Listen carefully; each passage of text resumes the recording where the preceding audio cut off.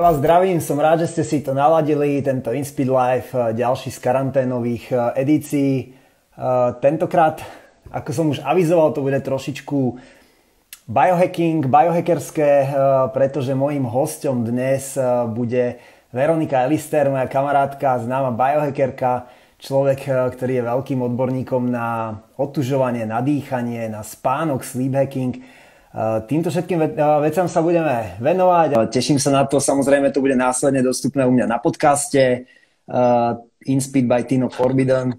Veronika, čau! Ahoj Tino, čau, vidíme ne, se. Vidíme sa, počujeme sa, takže karanténová edícia uh, podcastu. Uh, myslím si, že teda úspešná, že ťa máme, ťa máme vo vysielaní v úvodzovkách. Ako sa máš? To jo, dneska se mám docela dobře, takže super. Uh kocourody našemu dneska bylo trošku špatně. Já jsem si říkala, jak ty zvířata jsou inteligentní, že jim je špatně, tak mají prostě půst, sežerou trošku trávy a pak se vyzrací a jim dobře, že? Takže Taková inspirace pro mě.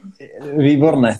Takže e, každopádně jsem strašně rád, že jsi na mě našla teraz čas. E, kde jsme tě zastihli?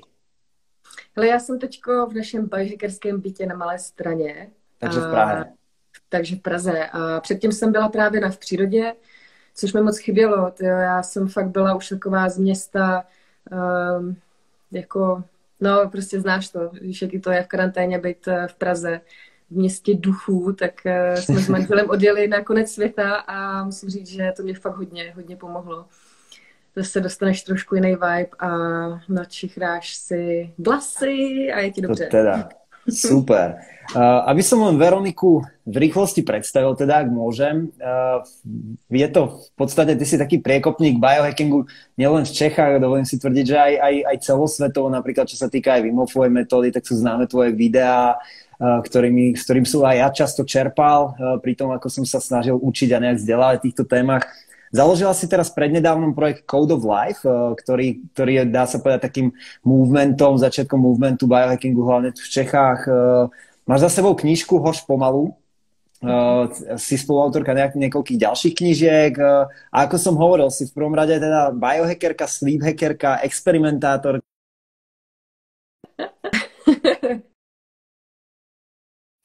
Robíš známe, známe videá teda a a, a, a okrem toho teda uh, by som chcel, že ako by si uh, možno pre tých mojich divákov a poslucháčov ten biohacking úplne v skratke definovala ty, lebo ako nemyslím si, že je tu niekto, kto si myslí, že je to Uh, že, že biohacker alebo biohacker je, je hacker, ktorý, ktorý sa stravuje biopotravinami alebo niečo obdobné, ale uh, ako by si ten biohacking definoval, čo pre teba znamená? No, podívej, já to vždycky říkám tak, že to vlastně bio je jako to biologie a hacking je o nějaké optimalizaci. Takže my si vlastně optimalizujeme svoji vlastní biochemii, svoji vlastní individuální biochemii, protože každý člověk je jedinečný. A právě biohacking je o porozumění základních principů našeho úžasného inteligentního těla. A do toho spadá spousta věcí, jako právě třeba to, co děláš ty, že otužování, různé dýchací techniky, meditace, a nicméně je to takový komplexní přístup ke zdraví člověka. Aha. A já to jednoduše rozděluju tak, že si můžeš představit, že máš takovou škálu. A tady máš minus nekonečno, tady máš nulu a tady máš plus nekonečno. A teď od toho minus nekonečna do nuly, tak tam se objevují lidé, kteří mají nějaký problém. No a mají nějakou nemoc, nebo prostě není jim dobře, mají třeba zvýšený zánět v těle a tak dále, mají třeba deprese, úzkosti, hodně stresu a nesoustředěnosti, uh, snižuje se jim paměť, jo, předčasně stárnou. A vlastně eh, v tomhle, v tomhle tom bodě teda, tady na té škále, tak jsou většinou i hodně unavení. No a vlastně ten biohacking je o tom, že oni se dostanou na ten bod nula, na svůj baseline, na nějaký bod prostě svůj, od kterého se můžou odrazit.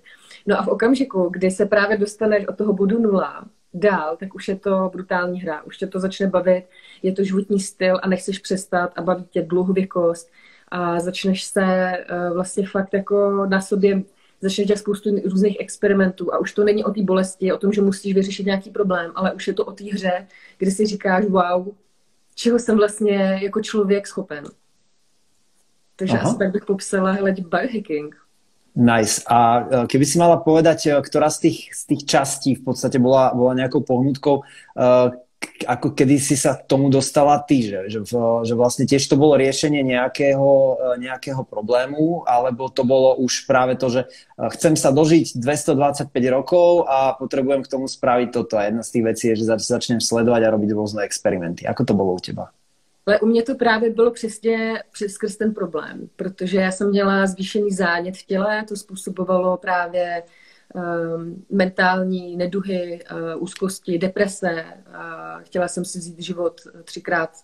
Uh, jako bylo to dost jako náročné. Dneska už se ukazuje ze studií, že právě zvýšený zánět v těle, tak uh, tohle to přesně dělá, může právě zvýšit uh, mentální, mentální neduhy. Uh. Zároveň jsem měla chronické záněty močového měchýře, což eh, pokud nás poslouchají dámy, tak eh, věřím tomu, že mnoho, mnoho z vás už jste třeba něco takového zažili. No a to potom přešlo do, eh, do nádoru.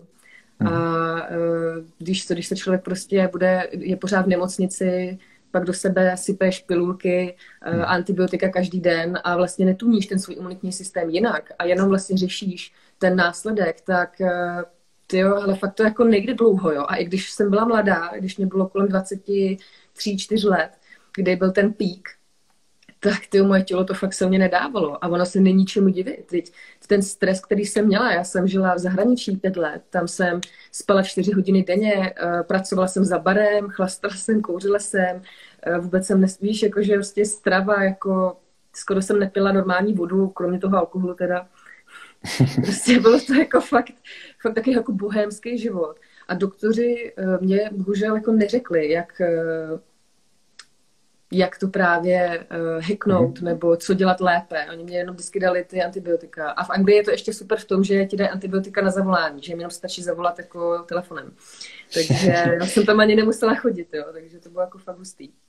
No dobré, a prepač, a, a teda kedy prišiel ten moment, kedy už je nejaký pain vyriešený, alebo to, to, to asi, asi to teraz uh, fast forwardnem trošku, uh, nechcem, nechcem to úplne možno do toho zachádzať, ale že kde bol ten bod nula, kedy si si povedala, OK, tak uh, som fit, som, som zdravý človek a toto je niečo, čo ma naplňa, v čom som sa našla a chcem uh, pomôcť sebe a možno aj ostatným ľuďom tým, že, uh, tým, že vlastne sa biohackingu budem venovať. Že čo to bolo u teba, ten, ten No, hele, řekla bych, že to bylo tehdy, kdy jsem fakt hodně zpomalila. Dala jsem si rok voraz a prostě jsem odjela do Portugalska na několik měsíců a tam vlastně vznikla i kniha Hoř pomalu. Mm-hmm. Začala jsem eliminovat věci, přestala jsem kouřit, eh, chlastat, začala jsem se o sebe víc zajímat a eh, postupně vlastně jsem začala přidávat jednoduché věci jako právě stravu, eh, otužování, meditace. Mm-hmm. To otužování mi pomohlo fakt hodně, protože to člověk cítí okamžitě, takže mm-hmm. tam bych je doporučila spousty lidem začít, protože fakt jako můžeš tunit, co chceš, ale vše, vše, problém v prevenci nebo právě v tom biohackingu je ten, že lidi vidí tu odměnu až příliš dlouho. Ale mm-hmm. v mhm. okamžiku, kdy my, změní, kdy my to změníme, a najednou to už je ta hra, už od začátku a vlastně ta odměna přijde hned, nebo velmi brzo, tak nemáme, máme i tu motivaci. A třeba u toho otužování to tak je, že jo? Však to znáš. Instant gratification. No, a no. dva roky tuším, ale celé dva roky, no. Když sa k tomu otužovaniu práve dostaneme, je super, že o tom hovoríš, pretože ja som si tak vypichol tie témy, o ktorých sa s tebou chcem baviť, tak, tak vlastne otužovanie je jedna z nich. Ja som totiž to som, eh, často dostávam otázky práve na tieto témy a ja som si povedal, že oveľa lepšie bude si vždy na konkrétnu tému zavolať niekoho, kto sa tomu venuje ešte hlbšie, od koho aj ja často čerpám, takže, takže vlastne toto je taká predzvesť týchto InSpeed Masterclass a, a ja by som fakt chcel byť uh, čo najkonkrétnejší, že, že čo vlastne človek bude môcť teoreticky spraviť eh, hneď zajtra alebo hneď ešte dnes a podobne. Takže eh, ešte sa ale spýtam na jednu vec teda, aby sme si to upresnili. Aký je ale rozdiel, eh, lebo, lebo vlastne to, čo si opísala pri biohackingu, tak to riešia aj rôzne, rôzne iné vedy alebo veci.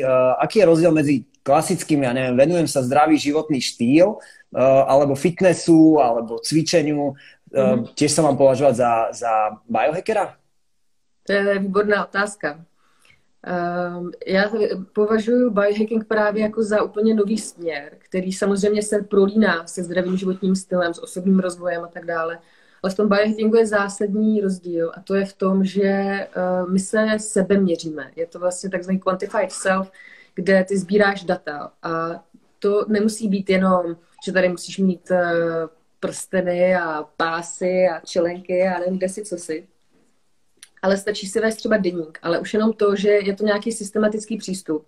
To, že uh, nemícháš všechno jak pejsek a kočička, ale opravdu Uh, máš nějaký experiment, který má nějaký smysl, je bezpečný. A pokud není bezpečný, tak ho nezdílíš a zkoušíš to jenom na sobě. to je jako máš, máš aj také věci? Hele, já mám takových experimentů, který nezdílím, že to, to těch je hodně, no. Ale okay. právě mně se právě líbí i ten morální kodex, který vlastně je biohackingu a, a i celosvětově a to je právě bezpečnost. A už takhle jsem sdílela dost jako nebezpečných experimentů kdybych sdílela ještě ty, ty nějaký další, tak to už bych se asi za biohackera opravdu považovat nemohla. Víš dát nějaký příklad? Jako si no to, to máme představovat? No, nemůžeš. Ideme live, to, uh, zostane to 24 hodin a samozřejmě to bude následně na podcaste, ale tak můžeme to vypípat, keď tak víš, také dlouhé pípnutě. jo, jo, jo. Ne, jako hele, jsou to prostě to, uh, každý máme fakt individuální biochemie a pokud člověk už na sobě nějakým způsobem pracuje, už ví, co na něm funguje, co ne, tak už si s tím fakt může hrát a už to není pro něho tak nebezpečný. Takže já nedělám něco, co by bylo pro mě nebezpečný. Mm-hmm. Ale kdyby to někdo zkoušel replikovat bez toho, aniž by měl tu historii, kterou mám já, tak to pro něho může být nebezpečný. Takže proto já třeba nezdílím úplně všechno. Mm-hmm. A snažím se právě sdílet spíš ty postupy a principy, jak člověk může začít a jak nebrat nic, to, co kdokoliv řekne, jako kouzelnou pilulku a něco jako, hele, to, že to funguje na mě, vůbec neznamená, že to musí fungovat na tobě. A právě i to, že věda říká něco, jako ano, je to nějaký jako super základ, ale taky ti toho zase toho tolik neřekne. Jo? Stejně je prostě velmi důležitý, aby si ty pozoroval, že to svoje tělo, co to s tebou dělá. Je to tak. A vlastně to je taký krásný disclaimer možno k tomuto rozhovoru, protože Uh, samozrejme sa tu budeme teraz baviť o napríklad o otužovaní, uh, o spánku alebo nejakých možno aj výživových veciach. Samozrejme, že priorita je vlastne to zdravie, že každý pozná to svoje telo, aké má zdravotné komplikácie alebo nejakú medicínu, lieky, ktoré berie, takže, takže ak, asi by to nemalo nahrádzať v žiadnom prípade len tak ako nejakú medicínsku radu, takže, takže ono je vždycky dobré sa poradiť s nejakým doktorom. A práve to meranie, myslím si, že je veľmi podstatné na tom, že tiež je, to, je, je tam taká, taká hranica blbá medzi, medzi tým, že keď si meriaš napríklad ten čas, dokedy je to ego, povedzme, vie, že, že koľko mhm. vydržím v tej vode alebo koľko vydržím s tým mhm. zadržaným dýchom a potrebujem sa ako keby prekonávať. Versus je to skutočne niečo, čo si ja zaznačujem alebo, alebo zaznamenávam do nejakej buď to aplikácie alebo do, do, do nejakého no, no, noťasu aby som sa z toho nejak poučil a odpichol sa, že čo znamenalo zmena toho a toho a toho uh, v ten daný deň. Takže uh, čo si o tomto ty myslíš, o takom tom uh, možno ego versus, ego versus data? Jo, to je taky super, to je, miluji tvoje otázky, jako je fakt vidět to, že, že do toho taky trochu šlapeš, protože tohle je fakt hele, klíčový. My třeba, když děláme kempy, nebo takhle, když jsem prováděla spoustu, spoustu lidí skrz různé dechové techniky, nebo právě chladové terapie, tak jsem se z začátku hodně eh, setkávala právě s takovou soutěživostí, jo? jako kdo vydrží díl ve vodě. Ehm, Teď já jsem tam byla většinou buď sama žena, nebo nás tam bylo opravdu málo, takže když tam vydržíš ty jako žena díl, tak samozřejmě může mají větší tendenci tam jako vydržet taky díl, ale pak si třeba ublíží. A já jako lektorka jsem samozřejmě ze začátku s tímhle taky měla problém, protože jsem si říkala, že jako lektorka musím vydržet přece nejdíl pak jsem tohle z toho úplně pustila. A právě to měření ze začátku je super v tom, že ty vlastně vidíš, jak se posouváš, ale zároveň tě to trošku odvádí od, od tebe, protože se potom soustředíš právě na, um, na ten výsledek nebo právě hmm. na, to, uh, na ten čas jako takový. Takže ta rovnováha se hledá velmi individuálně a u každého to zase bude trošku jako jinak. Hmm. Ale já doporučuji to kombinovat a třeba fakt z začátku to měřit, ale pak ale se z toho neposrat a nebrat nic vážně. Je to prostě hra. Biohacking je fakt o hře, o tom, aby nás to bavilo. A nejhorší je, když já jsem se začala měřit spánek právě o orou. Ty máš asi taky oru, jsem koukala. Mám, no. Máš. Já jsem spokojený. Uh, ja úplne super, ja som predtým používal tú Sleep Cycle aplikáciu, že som si to vlastne len ako z dychu.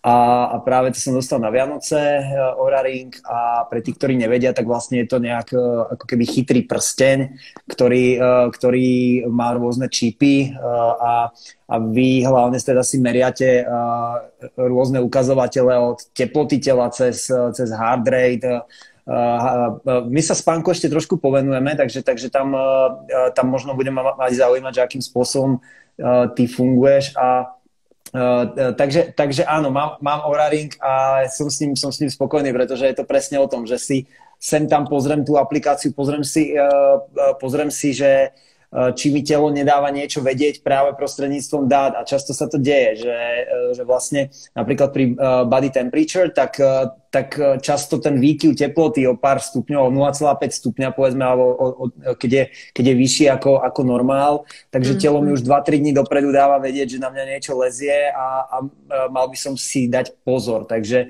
uh, neviem, mm. že či aj ty s tým máš takúto skúsenosť, jo, jo, to je jako jeden z těch ukazovateľov. Ale kort teď, jako v době pandémie mi to hodně pomohlo a i vlastně oni hodně spolupracují s různými univerzitami, kde tu můžeš vlastně i na základě toho udělat nějakou predikci, zdali třeba jako opravdu v tom těle nemůže být nějaký, nějaký vir či nějaká infekce, takže tohle je, musím říct, fakt skvělý. Moc se mi to líbí teď, co se týče uh, Aura Teams, takže to taky, to je taky super, to máme v rámci týmu.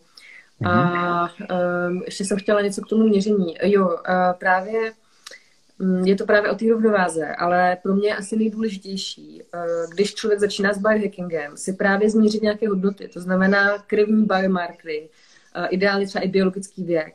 My teď budeme dělat tady eh, s jedním startup, startupem eh, z Anglie, tak eh, jmenuje se H-Curve, tak je to vlastně startup, který mm, na bázi slin ti změří velmi, velmi precizně tvůj biologický věk.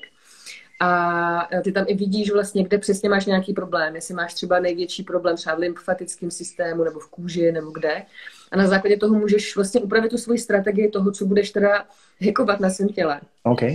A potom třeba za půl roku nebo za rok, protože dřív to nemá moc smysl dělat znova ten test, tak ty si ho uděláš znova a uvidíš, jestli eh, jsi byl schopen zpomalit tvoje stárnutí, anebo naopak třeba i reverzovat, to znamená, že ho oddálit.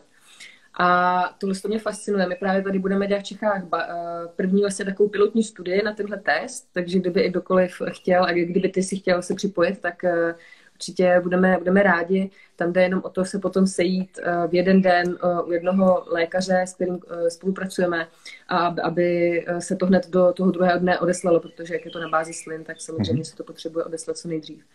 A právě i na, na základě tohohle, tady s těmi, my jsme napojeni na lékařskou komunitu, které nám teď pomáhají vytvořit takový biohackerský manuál toho sebeměření, mm-hmm. abychom pomohli lidem i i nám, jako to samozřejmě to děláme hlavně i jako pro sebe, že jo, tak eh, aby jsme měli právě tady ten kit, který můžeme s kterým můžeme začít všichni. A mhm. my to tak jako děláme všichni po svém, každý z nás z týmu si prostě dělá krevní biomarkery, eh, měření věku a tedy a tedy, ale mm, dá se to dělat i jednodušeji.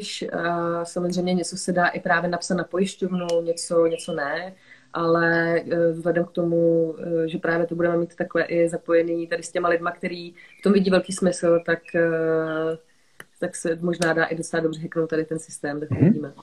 Takže uh, nejaký ten bod nula, ktorý si ty spomínala, mať zmeraný a vlastne na základe toho sa odpichovať. Takže, takže je to ako tiež predsa len o dátach. Takže není to len, len uh, často o pocite, ale samozrejme pocit overený dátami. Takže to je, to je asi ten jo, hele, ten pocit je důležitý, ale právě my... Hm, jako ten pocit je stejně nejdůležitější. Tvoje intuice je nejdůležitější, to je mnohem důležitější než jakákoliv data. Jo? Jenomže mm. spousta z nás jsme se tak oddáleli od sebe, že už ani nevíme, co to znamená poslouchat svoje tělo a co je ta intuice. Takže my se to vlastně skrz to měření vlastně znovu učíme a pak to můžeme pustit. Eh, to už potom jenom, jestli nás to baví nebo ne, ale už je ta intuice potom samozřejmě jako jinde.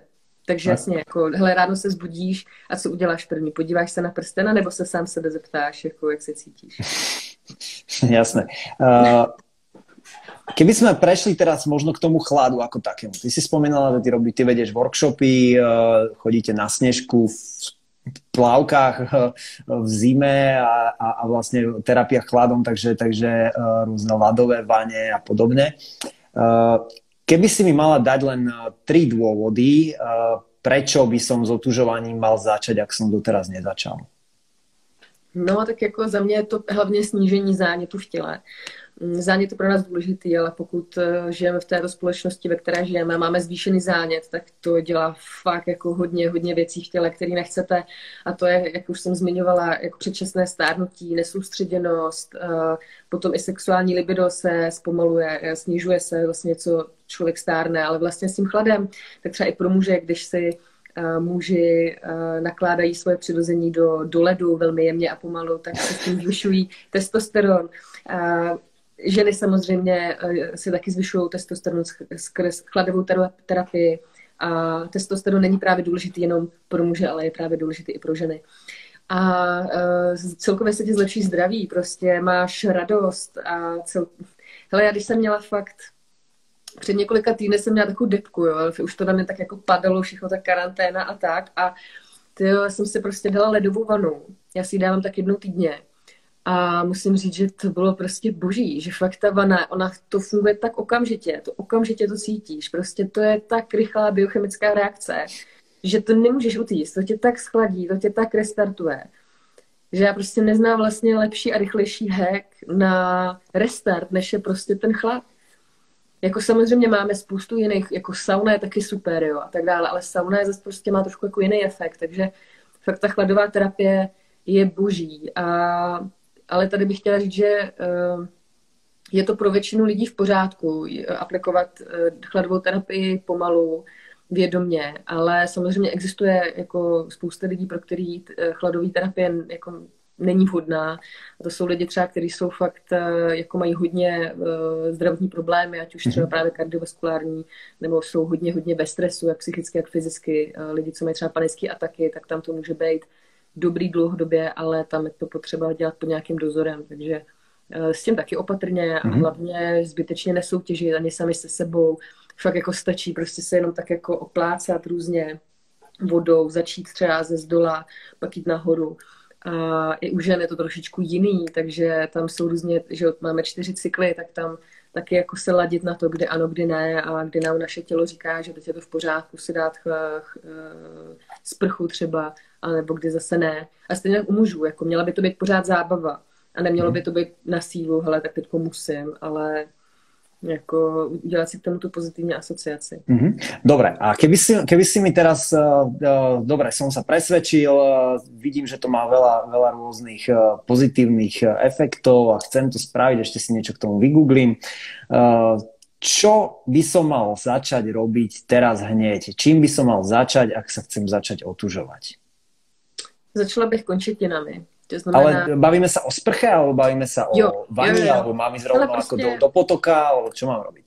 Ideálně prostě ráno vstát a jako první věc, co udělat, ještě než si vyčistíte zuby, prostě první věc, ráno vstát a první věc, ne druhá nebo třetí, ale fakt první, je, že půjdete do koupelny a dáte si na svoje chodidla studenou sprchu. Můžete si dát i na, na ruce, ale pokud to zvládnete, tak pak můžete pomalinku jít jako třeba nahoru, ale nemusíte hned jako celé tělo. A nakonec třeba po těch 30 vteřinách, eh, nebo klidně i delší dobu, tak eh, si můžete trošku vzít té vody a trošku se tak jako cákat právě na svá intimní místa, které jsou třeba víc citlivý. Každý z nás to bude mít citlivý trošku někde jinde. Takže bych začala tady tímhle. Samozřejmě um, hlava je, hlava je nejvíce um, citlivá, takže s hlavou hodně opatrně, tam je potřeba uh, opravdu nejdříve otužit celé tělo a až potom začít s hlavou, protože uh, tam můžete fakt jako si zbytečně ublížit a to asi není jako tím cílem. Takže sprcha. Uh, ideálně.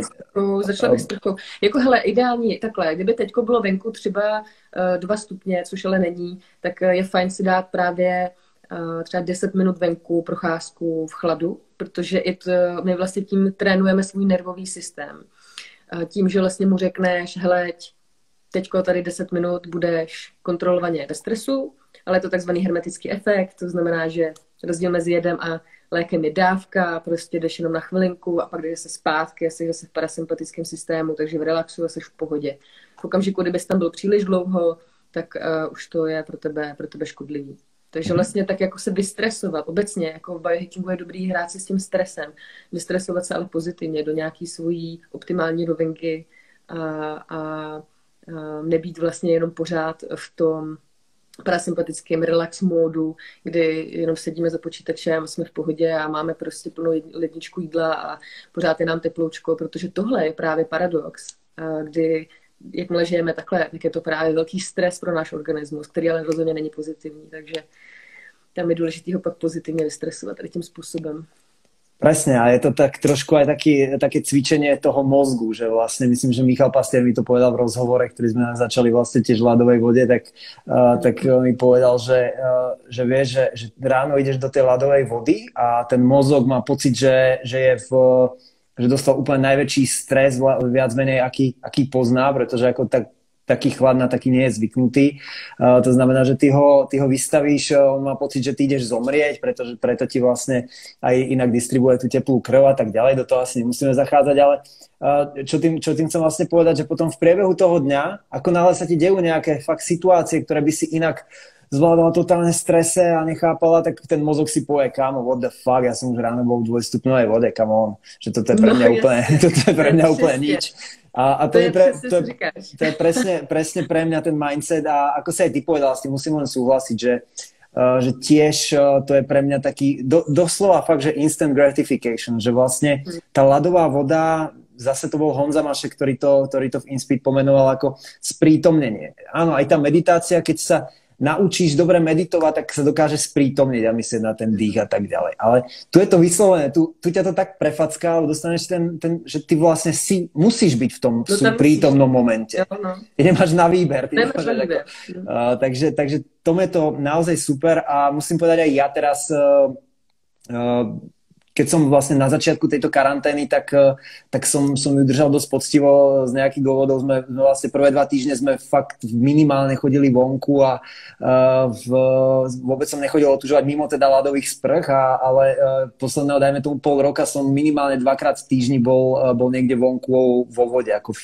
v studenej vode. Mm-hmm. A úplne som to na sebe cítil, že, že, že to, tomu telu to jednoducho chýba. No, to je možno len nejaká taká uh, psychika, že, že tak ako šport ti chýba, tak ako, že je to určitý druh tiež možno, uh, ja som ten chlad dostával síce inak, ale vyslovene som vedel, že mi chýba byť v tej prírode a dostať, uh, dostať proste tú ľadovú vodu a ako mhm. náhle som ju znova zaradil do toho života, uh, tak uh, totálny game changer. Takže, uh, takže ako tam fakt je to na jedno, ako, um, ťažko sa to popisuje ako človeku, ktorý ktorý s tým nemá skúsenosti, ale vlastne drvivá väčšina ľudí, ktorí začalo uh, aj na, nejak, na môj popud alebo v mojom okolí, tak, tak vlastne by sa asi úplne zhodlo presne na tomto.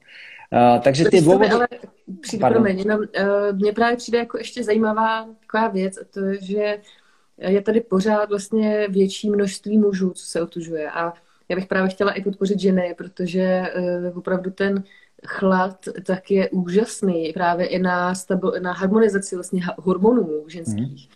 Takže i při menstruaci, nebo celkově, když jsou nějaké díky vynálad, tak fakt ta studená sprcha nevyři, nevyři, nevyřeší to. Stejně vám budou jako nálady a hormony jako lítat, ale je to lepší, jo? Fakt je to mm. lepší.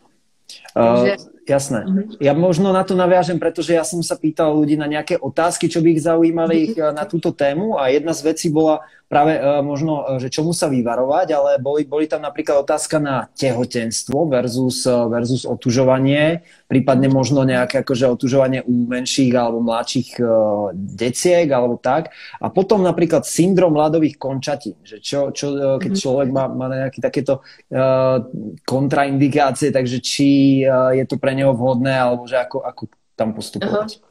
Jo, super, super otázky. Tak já začnu tím těhotenstvím. Tak eh, v těhotenství tak právě se úplně nedoporučuje eh, dělat právě různé dechové techniky, kdy se zádrží dechu. Tam mm. nás to většinou ani nepouští, prostě naše tělo přirozeně to odmítá, takže tam určitě pozor s dechovými technikama. Může se mm, trénovat, bránit se, ale jako velmi, velmi jemně, jo, takže spíš, spíš jako opravdu ty dechové techniky tam, tam to upozadit, ale co se týče chladové terapie, tak je to vlastně pro těhotné ženy velmi blahodárné, ale tam záleží na tom, uh, to zase záleží, jo. Jestli se žena už otužuje předtím nebo ne, jestli s tím začíná. Ideálně, pokud s tím nemá zkušenosti, tak spíše počkat a nezačínat s tím jako zbytečně prostě během toho těhotenství, protože to může být příliš velký stres. Ta žena třeba nemusí vědět, kdy je to právě uh, v rovnováze ten stres, kdy je to ještě v pohodě. Mm-hmm. A, ale pokud se už žena ot, ot, ot, uh, už se otužovala uh, před těhotenstvím, tak uh, v tom nevidím vůbec eh, žádný problém, jenom bych nechodila do nějakých extrémů a fakt se jenom tak jako lehce otužovat. Jo. Mhm. Rozhodně já eh, bych jako nešla třeba právě na sněžku eh, prostě v minus deseti po, po dobu tří hodin, kde bych byla těhotná, jo. tak to, to fakt ne. Takže fakt jenom jako velmi jemně. No a potom ta druhá otázka teda byla na syndrom teda chladných končetin tak tam to taky může být, to může být způsobeno mnoha faktory, ale naopak právě otužování může pomoct protože člověk, když se začne dávat třeba končetiny do ledového kyblíku, každý den, pravidelně jenom na chvilku, právě kdy to je kontrolovaný, plus do toho bude dělat stretching bránice nebo právě různé dechové techniky, tak ta bránice, že tu máme pod pod žebry, to je sval, který je velmi, velmi důležitý, tak eh, když ten kyslík skrz tu bránici proudí tak, jak má, a dostane se do každé buňky v našem těle, tak právě i cítíme větší teplo. Ale mnoho z nás, jak sedíme už od malička ve školách, prostě sedíme tak, jak to není přirozené, tak se může právě stát to, že ta bránice není dobře uh, protažená. A když uděláte stretching bránice, můžete si to dát do YouTube, hle dneska najdete všude možně návody, stačí za tři minuty, uh, máte každý, každý ráno tři minuty a jste, jste done tak uh, už jenom tady to, stretching bránice, tři mm-hmm. minuty každý ráno a uh, dát si ruce a nohy do, do kyblíku s ledou nebo do chladné vody, tak uvidíte za dva týdny, že vám bude mnohem větší teplo na, na ty končetiny, že se mhm. budete lépe prokrvovat. A pokud ne, tak tam samozřejmě může být potom už někde jako nějaký hlubší problém, jo? to už prostě jako individuální. Naviažem teda na tie ruky, nohy. Uh, za mňa to bol asi najväčší problém. Každý, ako si ty hovorila, každý s tým má uh, rôzne problémy. Ja, uh, keď som prvýkrát uh, na Liptovskej Mare svojich dvoch kamarátov uh, zobral vlastne, ktorí tiež už predtým mali nejakú menšiu skúsenosť, ale vlastne tak tu v prírode sa nikdy predtým neotužovali, takže sme boli akože v lade, tak, tak jeden z nich mal najväčší problém s prírodzením, že to, že proste on myslel, že mu každú chvíľku odpadne, tak vlastne inak celé telo bolo úplne v pohode, ale Uh, ale uh, tam dole mal pocit, že, že všetko príde. Uh, ja, som, ja mám niečo obdobné s rukami a s nohami. Teda. Ja, keď, keď chodím ako von do, niekam do jazera, tak, tak som teraz začal používať nedávno vlastne neoprenové topánky a pre mňa je to ako oveľa, že, že vlastne pretože ako možno, možno je dobré povedať nejak aspoň skrátke, že ako vlastne to telo funguje, že, že presne ako náhle ono príde do nejakej takejto šokovej alebo stresovej situácie, tak, tak eh, v prvom rade sa eh, v ohrození života snaží, eh, snaží postarať o tie životné najdôležitejšie orgány, čiže srdce, plúca, obličky a podobné a tú teplú krv vlastne distribuje tam, tým pádom na nohy a na ruky sa vyseré s prepáčením no, a, a tie vlastne preto, preto najviac trpia. Takže No, tak zjednodušene povedané nejak laicky. A mm-hmm. uh, ja presne ako z začiatku, že som si dával aj ruky úplne pod vodu a mal som, mal som fakt s tým brutálne problémy. Teraz uh, a to je presne o tom, že či potrebuješ uh, si niečo dokazovať, že áno, tak ja dokážem, alebo nerobí mi to dobre, tak jednoducho si dám tie topánky a dám si, dám si tie ruky nad hladinu a viem, že takto mi to vyhovuje úplne najviac. Takže uh, možno, možno, možno aj takto z mojej skúsenosti, že to sú ako fakt také dva, uh, to, čo trpí ako keby vždycky najviac. Uh, že inak telo by vydržalo, ale, ale tie, tie ruky, nohy tak majú najväčší prostě, to, to, to většina lidí to má takhle. Jo. Já se taky pamatuju, že jsem velmi dlouho, mi to trvalo, než jsem vůbec byla schopná třeba jít i na sněžku bez rukavic. A když jsem fakt jako, fakt, fakt mě to hodně bolelo. A i jsem fakt zažila lidi, který eh, k nám jednou přijela taková žena, jí bylo 75 let, dělá jogu. Hele, ta do té vany skočila po hlavě. Normálně nějakou šipku, protože prostě potřebovala mít ty nohy veku. Já jsem si udělala fotku, to je úplně top fotka. To fakt jako prostě Dokonale. tam šla těma prsama a těma, tím břichem, jo, což nechápu, protože to je taky citlivý, že jo. No, už to bylo šílený, takže... To je brutál. To je, to je brutál, ale takže to chápu a uh, určitě jako samozřejmě můžeš mít různý topánky a tak, ale já si jako, to je jenom můj názor, jo. Jako není to samozřejmě uh, dogma, ale myslím si, že právě pokud nás to bolí, tak je to nějaký signál našeho těla, hmm. který ty, když potom jim dáš právě rukavice nebo, nebo nějaký neoprenový uh, topánky, tak uh, tím to sice hekneš, ale vlastně potom uh, si nejsem úplně jistá, jestli potom jako je to dobrý pro ten celý tvůj organismus, víš? Okay. Jakože, mm, nevím, to je jenom moje taková teorie, takže já to, já to právě nedělám a uh, spíš jsem se vlastně snažila otužit, otužit právě i ty, i ty končetiny a časem, až už jsem se vytrénovala na nějakou úroveň, tak jsem tam třeba zůstávala díl, jo, ale taky jsem jako dělala spoustu, spoustu jako jiných věcí, které nebyly bezpečné. No, takže... E, jasné. U mě ještě, čo je ještě možno důležitější, tak, e, tak je vlastně ten, e, ta, ta podošva. Čiže vlastně keď kráčam do toho jazera, alebo tak to mi strašně vadí ty kamene a všetko to ostatné, které jsou ostré. Takže, takže jo, možno aj to bol, možno aj to, to bol ten, ten, ten väčší důvod, než, než jako nohy v teple, lebo ako ty v teple ich v podstate úplně nemáš. Mm. Uh, kedy viem, že vlastne už môžem, eh, eh, že už ľadové sprchy ma prestávajú tak nejak baviť, alebo už je to také, že úplne v pohode si dá minútu, dve, tri minúty, nemám s tým absolútne žiadny problém. Eh, kedy viem, že je ten správny moment možno začať s ľadovou vaňou plnou ľadu, alebo ísť práve niekam, nejak, niekam, niekam do jazera ľadového? Hmm. No, zkusit to prostě, když už jako cítíš, že už, už jsem na to ready, tak to zkusit, ale ideálně, ať je u vás někdo, kdo, uh, kdo prostě je oblečený, jo? nikdy tam nechoďte mm. sami. A když jste zkušený, tak to už jako uh, prostě je to po každý blbost, si myslím. Když je opravdu člověk hodně, hodně zkušený, tak nikdy nevíš, co se může stát. A mně mhm. se stalo hodněkrát už mnoho fakt jako uh, při, um, No prostě byla jsem ráda, že tam někdo byl, mm. protože člověk dostane třeba i křiče, uh, jo, fakt jako nevíš. Takže tak jako podle intuice a mm, jako vana plná ledu, já, já bych si dala třeba z začátku venku, protože venku člověk vnímá to tělo trošku jinak. Doma mm-hmm. se vytváří takzvaný bias, eh, taková iluze bezpečí, jo, mm-hmm. protože jsi doma, že? Ale v té přírodě tam je to trošku jiný, takže tam jako vnímáme malinko jinak to tělo a je to přece jenom trošku větší zážitek. Eh, jinak doma taky jako člověk si může dát vanu, která eh, prostě třeba má 10 stupňů a časem si můžete dát třeba vanu, která má, má plno ledu a, a jít do toho. Já vím, že je dneska strašně cool chodit na workshopy, kde prostě máte plno ledu a prostě zkusit si to. Ono to má taky smysl, jo, protože člověk jako zjistí, že dokáže mnohem víc, než si myslí a odblokuje vám to v hlavě, nějaký blok, ale pak je potřeba, eh, aby člověk u toho zůstal, eh, tak eh, to zase dělat pomalu a, a dělat to od začátku. Já jsem to taky udělala takhle, jo, že prostě od toho extrému a pak, že jsem si prostě v hlavě to pře, přepláhla, tak já to dokážu. Pak jsem se tam vytrénovala tak, že už je to pro moje tělo v pohodě, ale um, není to jen jako, pro to tělo nějak jako extra, extra zdraví, jako jo, jít jako hned do, do, do, chla, do, do chladu, kde je prostě 40 kg ledu. Mm-hmm. Um, nebo taky to je individuální, no. Jasné, ale je to, asi... Je to asi, náročný, to, je to komplexní téma, no. Asi to souvisí s tím, že žádný přílišný extrém nie je úplně dobrý, takže uh, Možno... Jako jenom krátkodobě a kontrolovaně. Jako pokud mm. člověk jde na nějaký vedený workshop, teď už je tady čím dál tím více instruktorů v Čechách, což je super, tak prostě běžte ke komukoliv, kdo, kdo vám bude ladit a ať, ať, ať, ať tam někdo u vás je, protože eh, pokud to člověk dělá doma, tak si fakt může ublížit a zbytečně si vytvoří třeba i averze, je to jako fakt škoda, když už je tady tolik lidí, co, co to dělá, nebo existují i různé skupiny, uh, hele, dneska už je to fakt jako hodně trendy vlastně, což je super. Na druhou stranu mm, to taky právě může způsobit to, že, že to člověk jako dělá uh, neúplně zodpovědně. No. Uh-huh.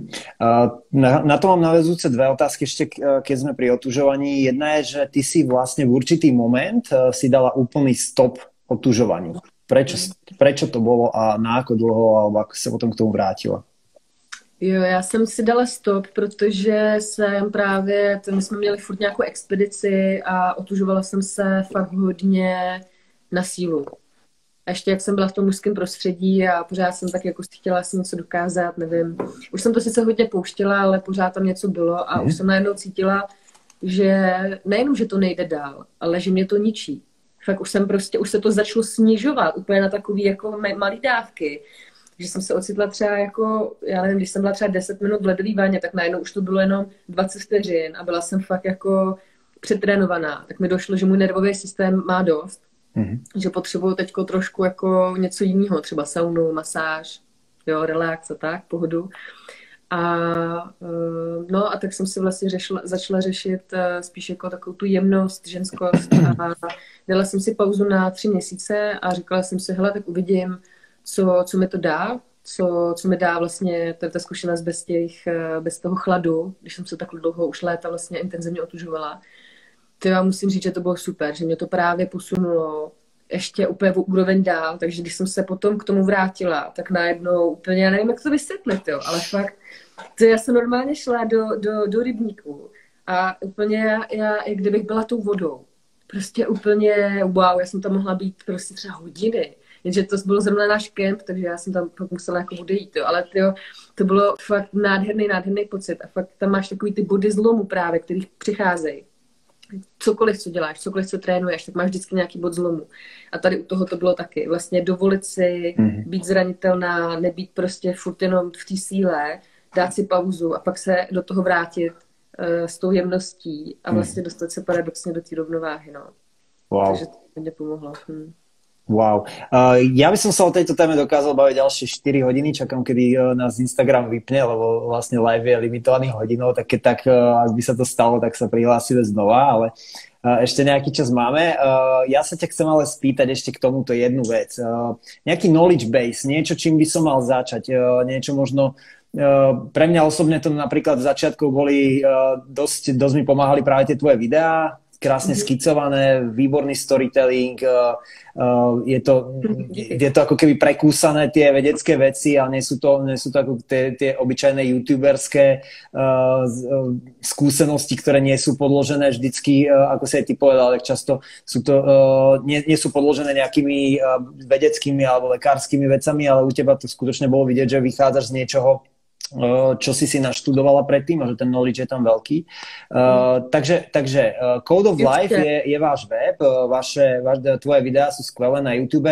Aké kanály alebo nejaké časopisy alebo knihy možno by si odporúčila ľuďom, ktorí sa chcú možno trošku posunúť v tomto a trošku sa o tom viac dozvedieť? Eh, tak eh, záleží, jestli to je v českém a v anglickém jazyce, protože v češtině, tak my vlastně, já tady jako v Čechách neznám vlastně nikoho, nikoho tady nesleduju v rámci biohackingu, takže my tam děláme, fakt máme každý den nový článek na Code of Life, teď i můj YouTube kanál se přejmenoval na Code of Life, takže vlastně tam teď varíme, budeme tam dávat více víc videí, uh, Jinak publikovali jsme knihu, která je zdarma ke stáhnutí, uh, Nálepší imunita, lomeno e-book, uh, tam to je průvodce biohackera, tam fakt jako je krok za krokem, jak člověk může začít a právě si tu něco svůj imunitní systém a nejen imunitní systém. No a jinak z těch zahraničních, tak mě hodně baví Ben Greenfield, uh, ten napsal mm-hmm. boží knihu Boundless. Je to bychlé jako kráva, ale je to fakt super. To je prostě, hele, to je, jako, to je prostě Bible jako pro biohackery. Mm. Fakt jako úplně top, krásně to tam popisuje uh, spousta vlastně jako nejenom vědeckých uh, poznatků, ale i právě ty moudrosti z těch starodávných kultur, které vůbec nejsou podložené, ale prostě jsou zajímavý a fakt fungují. Mm. Takže mi se tam líbí tohle propojení. Eh, pak mě baví David Sinclair, to je doktor, který se hodně právě eh, věnuje dlouhověkosti, napsal skvělou knihu Lifespan. Ronda Patrick, to je taky mm-hmm. úplně jako geniální. Uh, ta práve mňa, ta, uh, uh, od nej som práve dosť veľa vecí čítal aj k saunovaniu, práve ako k tomu Saunování, opaku. No, no, no. Že robila veľa ako štúdiu, štúdií k tomu, takže to je tiež ako fakt super zdroj. Ale zkoušel si někdy si dát niacin před, před saunováním? Mm, ani nevím, co je niacin, keď se mám přiznat. Ale niacin, počkej, to někde mám. To je fakt boží. Uh, to je prostě co, co, co jako zkus, hele, to vypadá takhle, jo. Okay. A uh, jako já jsem si dala celou dávku a to nedoporučuju. To jako to fakt nedělej. Ale když se třeba 100 mikrogramů a když, když do sauny, to je, to tě úplně prokrví. To tě tak prokrví, že ty, ty si připadáš, kdyby do tebe vstoupilo slunce. Úplně, úplně každou buňku, úplně hoříš, jo. Okay. A dostaneš právě takový niacin ráž, ale právě když jdeš potom ještě do té sauny, tak to je úplně, ty jo, fakt jako pecka. A úplně skvělá zkušenost, takže... Paráda. Jestli se saunuješ, tak tohle to příště. No momentálně v této době asi tak skoro do sauny nevím, kedy, kedy vkročím, keď ten vírus, myslím si, že, eh, že právě teplota zabíja, ale Uh, ale ako napríklad saunu, ja som tiež posledné, posledné možno rok alebo dosť dlhé obdobie, tak minimálne no, dvakrát týždeň si dovolím tvrdiť, že som dával ako popri plávaní a musím povedať, že tiež mi to extrémne chýba, že, že vlastne tá sauna ako mm. opak eh, toho, eh, toho chladu, tak je tiež strašne zaujímavý nástroj a, a rád by som o ňom vedel viacej popravde, takže eh, vlastne aj tí Fíni alebo tí Škandinávci, tak, tak, no, tak tam no. ako, tam tie štúdie, ktoré prebehli na fakt desiatkách tisíc ľudí, pretože tam ako zdá sauna je tak, je tak rozšírená, tak, tak to je úplný úlet, že aké, aké pozitívne účinky má aj to teplo vlastne na, na to tělo. Určitě. No je to ale zase kvůli tomu hermetickému efektu, který tě právě vystresuje na tu pozitivní mm-hmm. úroveň. Jako já si mm-hmm. právě nemyslím, že já si myslím, že kdyby udělali stejnou studii na otužování, že by jim vyšly podobné výsledky. Jo, jenom ta sauna je samozřejmě pro většinu lidí jako příjemnější, protože mm, je prostě, je to teplo, že jo, jako ten chlad mm-hmm. je přece jenom trošku uh, pro většinu lidí jako větší, větší oříšek, no. Dobre, a ešte posledná otázka k chladu. Rozdiel medzi chladom, povedzme tým uh, vodovým alebo vod, s vodou dodaným versus povedzme uh, kryokomora alebo chlad ako taký, ako si ty spomínala tú snežku uh, alebo chlad, chlad vzduchom teda. Uh, mm-hmm či možno, e, čo je lepšie e, na začiatok, alebo je to dobré kombinovať, alebo v akom pomere, e, alebo je to len chlad in general, ktorý, ktorý, ktorý je, má takto priaznivé účinky? Hele, určitě chlad in general je fajn. Člověk, ať to klidně kombinuje. Hele, jako myslím si, že je důležité si s tím hrát. Kryokomora je super na, pro naše mitochondrie, naše elektrárny. Jako když je člověk třeba nemocný, tak se to hodně doporučuje jako terapie, takže fajn. Nicméně to není nic úplně přirozeného, jako není to ně, něco, co mhm. bychom, na co bychom byli zvyklí, je to, je to suchý, uh, funguje to trošičku jinak, než když jdeme ven uh, do chladu, kde je prostě vzduch, a, uh, nebo když jdeme právě do vody. Takže mhm. tam záleží, já osobně mám raději vodu, třeba Libor, s kterým hodně vedeme kempy, tak ten naopak má rád, radši vzduch, takže ten je, eh, já jsem spíš taková ryba, on je takový, takový, takový pták prostě eh, vodní, eh, zimní, takže záleží, no, jako každý to bude mít trošičku jinak, fajn to kombinovat a hlavně se najít tu svoji, co, co, co člověku vyhovuje. Důležité si uvědomit, že jasně je to studený. Jako ani mně to nepřipadá teplý po těch jo. To je, to je něco, co si fakt zmínit, protože spousta lidí si myslí, jako a už je to teplý. Ne, není to teplý, jako je to pořád studený. jo. Ale člověk už to vnímá jinak. A Uh, ano, je vám zima, ale je vám to příjemný. Vlastně chcete, aby vám byla zima, protože v tom vidíte smysl. Víte, že, že potom je vám prostě líp a že když si to nedáte, tak uh, se necítíte tak dobře. Takže, a samozřejmě ještě se vytváří v těle hnědý tuk, který právě i odborává uh, tuk uh, rychleji než právě ten bílý. Ne, respektive ji neukládá. Vyrábí teplo, jednoduše řečeno hnědý tuk a ten je super. Takže potom hnědý tuk vám hodně pomůže s tou termoregulací jako takovou, takže jako zase jako trénink, no. Nádhera, úplne krásne si to teraz si dal taký wrap-up. Uh, myslím si, že, že vravím, táto téma je uh, ešte na niekoľko takýchto sessions určite a uh, myslím si, že kľudne v tom môžeme niekedy v budúcnosti pokračovať, budem za to fakt rád. Každopádne Code of Life.cz je výborný zdroj, kde možno začať ako z mojej strany, ak by som ja mohol odporúčiť. A chcel by som sa ešte presunúť k inej takej biohackerskej téme, ktorej ty si dosť veľký odborník a to je sleep hacking, takže spánok. Mm-hmm. Uh, prvá otázka, ktorá ma, ktorá ma napadá k tomuto je proste prečo? Do prdele. 20, z 24 hodín spíme, dajme tomu jednu tretinu nášho života spíme. Každý musí spať, neexistuje človek, ktorý by nespal uh, v histórii vlastne a uh, pritom neriešime ho skoro vôbec, alebo úplne minimálne. Uh, podceňujeme ho, vieme o ňom tak strašne málo, že nevieme vlastne, čo sa tam deje. Uh, je na toto nejaká otázka, že prečo a prečo by sme sa mu my ako aj jednotlivci mali uh, tomuto spánku uh, možno viac venovať? Jo, hele, spánek vlastně, to je jednoduchý. Jako když se nevyspíš, že jo, jak se cítíš? Já strašně. No, to asi všichni. Jako Zkus, zkusme si každý, jak, jako udělat takový experiment. Jeden den se jde vyspat a jak se člověk bude cítit. No, pravděpodobně se bude cítit dost na hovno, takže jako tam je právě důležitý uh, si udělat ten experiment toho, co se stane když. A právě ten spánek najednou zjistíme, aha, my teda spánek potřebujeme.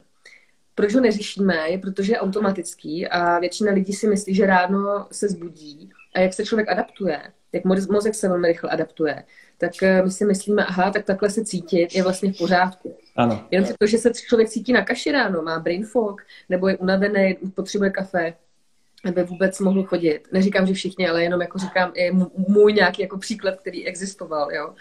Tak uh, najednou jako zjistíš, tyjo, to je jako divný a co kdyby to bylo jinak? Co kdybych se cítila líp, co kdybych se ráno vstala a byla úplně jak Duracell a cítila bych se super a těšila bych se na ten den, jo. No a tohle to potom je samozřejmě úplně náhra, takže uh, my, když uh, hekujeme spánek, tak nás zajímá především uh, fáze spánku. Uh, v dnešní době uh, má spousta lidí převážně lehký spánek, který vlastně prakticky nepotřebuješ. Pak máme ještě REM spánek a hluboký spánek. A když, samozřejmě REM spánek je důležitý, protože tam se nám filtrují informace, díky REM spánku můžeme snít. Hluboký spánek nám zase opravuje různé systémy v těle, eh, probíhá detoxikace. No a teď ten uh, fáze toho hlubokého spánku, když se podíváš na, na, na uh, opravdu hodně lidí, nedokážu říct asi většina populace, jo, ale jako fakt hodně lidí, tak uh, má spíše právě ten lehký spánek a velmi málo hlubokého spánku a velmi málo REM spánku. No a co to znamená? To znamená, že ten spánek není zase tak efektivní a že mhm. vlastně si třeba ráno právě budí uh, unavený. Jakmile bychom měli fázi hlubokého spánku delší a fázi REM spánku delší a fázi lehkého spánku nižší, tak se cítíme mnohem lépe a třeba nám stačí spát i méně hodin. No a to je právě jakoby klíčem, uh, klíčem toho, toho spánku momentálně, protože jak si sám řekl, jako spoustu toho nevíme, vůbec jako nevíme, co se vlastně děje v mozku, když spíme. Jako víme toho, víme něco, ale není toho moc. A jako za mě právě já mám se spánkem celý život největší problém.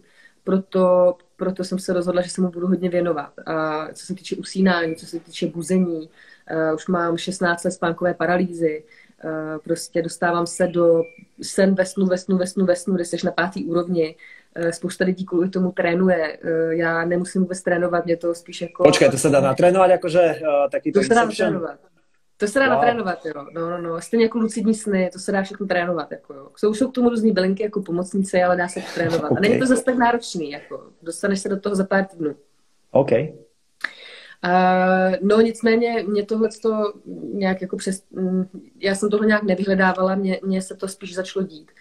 No, ale uh, v okamžiku, kdy jsem si začala měřit spánek, tak jsem taky zjistila, hele, dobrý, tak mám prostě fázi hlubokého spánku, není nic moc. A tak jsem začala přidávat nějaké experimenty. A to se samozřejmě pozná i uh, na těch fázích spánku. Zdali teda ty experimenty jsou super nebo ne. No a potom, když máš kvalitní spánek, který je efektivní, tak máš potom i kvalitní den.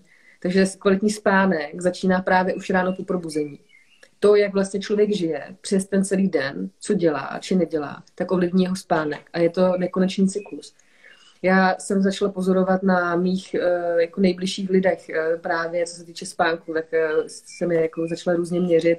A tam jako jde právě třeba krásně vidět, že člověk si třeba ani neuvědomuje, že ten spánek nemá kvalitní. Třeba chrápání je nějaký, není to úplně normální. Jako normální zdravý člověk v noci nechrápe. To prostě je taky jako takový mýtus, který je v dnešní společnosti, jo jasně, tak eh, já chrápu, jsem skoro, skoro se uvusím, jako je to vlastně v pořádku, mm-hmm. jako no není to v pořádku. Mm-hmm. Není v pořádku se ráno zbudit, eh, že máte otevřenou pusu a dýcháte 8 hodin pusou. Není to mm-hmm. v mhm. pořádku. A je dobrý právě uh, si tohle identifikovat a říct si, OK, tak prostě ráno se třeba zbudím s otevřenou pusou, tak si ji můžu na noc třeba zalepit a uh, to je takový jako simple hack. Okay. Zvednete uh, pusu páskou, ideálně nějakou, která nemá takový to uh, A nemusíte se bát toho, že když uh, se třeba ne, nebudete moc nadechnout nosem, že byste se udusili, prostě se zbudíte, anebo se vám otevře pusa. Jo. Jako to tělo je velmi inteligentní. Ale musím říct, že tohle to hodně, hodně pomáhá, protože to tělo se najednou přeučuje těm dechovým vzorcům, který nejsou přirozený a začne dýchat znovu nosem. Mm. A dýchání nosem je velmi, velmi důležitý, právě protože se nám vytváří v těle oxid dusnatý, který CO2. má mnoho, mnoho, mm. mnoho blahodárných účinků.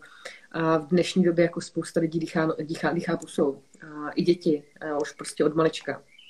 A to je potom průser, no. Tam fakt jako se dějou potom různé věci. A, um, Uh-huh. A keby sa ešte vrátim k tým, k tým uh, fázam spánku. Mňa prekvapilo napríklad pri Oure, že uh, ja ako ten deep sleep mám celkom dlhý, ale napríklad uh, často mi, mi, mi Aura Ring dala vedieť, alebo dal vedieť, že tá aplikácia, ako jedna, jedna z tých vyhodnotení bolo, že som príliš skoro, príliš rýchlo padol do hlbokého spánku. To znamená, že pravdepodobne som bol príliš unavený. Alebo že práve ten Ariem spánok, že nebol dostatočne dlhý v ten daný deň, to sa mi dialo dosť často.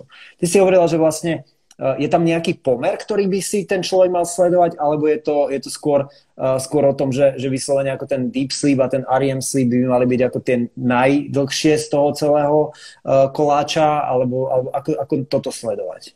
Jo, tak hele, je to, bude to zase individuální, ona i ta ORA ti vlastně několik týdnů trackuje tvůj vlastní individuální systém a na základě toho tě to pak vlastně ty data vyhodnocuje. Ale celkově, kdybych měla říct takový jako hodně oversimplified rule, uh, tak je to sledovat vlastně poměr, jako ideálně mít 30 až 40% právě fáze REMu i deepu a co nejméně, uh, nebo zhruba na stejno právě toho lightu. Mm-hmm. To mhm. znamená, uh, mít to ideálně buď jako ve všech stejných poměrech, mm-hmm. anebo mít toho lightu míň.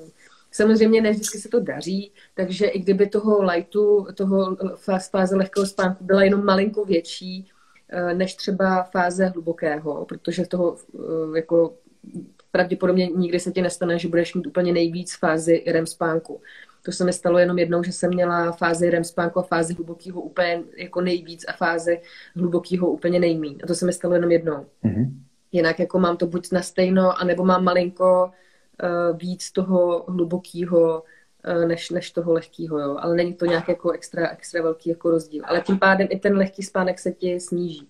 Jako když máš třeba 5-6 hodin lehkého spánku a 30 minut nebo 15 minut hlubokého, tak to už jako je něco asi špatně. Takže tam je právě potřeba uh, potřeba jako to ladit takhle a zároveň, když je potom člověk třeba unavený, jak právě říkáš, nebo má za svůj nějaký trénink, tak taky jako zohlednit tady ty faktory, jo, že mm, prostě se to bude měnit a je to taky v pohodě, jako nic se neděje, když prostě člověk najednou, wow, ty jo, tady prostě fáze lehkého spánku, tak umírám, jako to tak, ne, to tak není, jo. Takže... Jasné. Mne je stále len vrta uh, už posledných 5 minút, ako si to hovorila. Jedna otázka. Ako kurva človek trénuje snívanie? Ktoré si pred chvíľkou spomenula. What the fuck? Jasný, jasný. Hele, super otázka. No, takže základ je mít svůj spánkový deník. Máš svůj? Nemám, mám iba ako tú aplikáciu v Aure, takže ako nemám. Ale spánkový deník je super mít i ve fyzické podobě. Okay. A dát si vyloženě nějaký menší deník, který budeš mít u postele a dáš si k němu i pero. A ideálně si třeba otevřeš ten deník, aby si, když se v noci zbudíš, nebo ráno, když se zbudíš, tak abys tam neměl uh, ty kroky k tomu, hele, musím teď vstát a vzít si to pero nebo prostě něco, aby tam nebyla ta averze k tomu, ale abys to měl otevřený a hned se začal psát. Ten spánkový deník právě slouží k tomu, že ty si budeš psát ty sny a ideálně si je budeš třeba i dokončovat. Protože okay. tímhle s tím si trénuješ paměť. A vlastně tvůj mozek potřebuje přístup do paměti, když sní. Takže když tohle to budeš dělat, třeba i po dobu pár týdnů, tak uvidíš jako ohromné výsledky. Zároveň chceš, uh, chceš trénovat lucidní sny? Mm, kľudné, ja si vytrenujem rôzne sny. Ako, ja sa bojím, že keď si ich začnem zapisovať, tak ma pošlo niekto na psychiatriu, keď si to prečíta, pretože ako ja idem fakt paralelné životy v, v spánku, často sa mi opakujú sny a ako jo. fakt... Uh, alebo na pokračovanie mám sny fakt od malička v podstate ja hmm. si strašne užívam snívanie, takže, takže preto ma to celkom zaujíma a chcem to vedieť. A chcem, Hele, tak chcem to, trénovat. To je super, to, to, je, to je super, pokud tady to už se ti děje, tak budeš, tak máš velký předpoklad k tomu, aby se ti právě zdály ty lucidní sny. Pro ty a to je teda, pod, aby sme to vysvetlili, to sú sny ako Inception, takže sen, kedy si vlastne vedem, že sa ti sníva sen, alebo uh, kedy sa dostaneš do, do niekoľkých fáz ako keby snívania? No, lucidní sen je vlastně vědomý sen, kdy víš, že seš ve snu a můžeš ho vědomě ovládat. Takže seš ve snu, uvědomíš si to a řekneš si, wow, já chci lítat.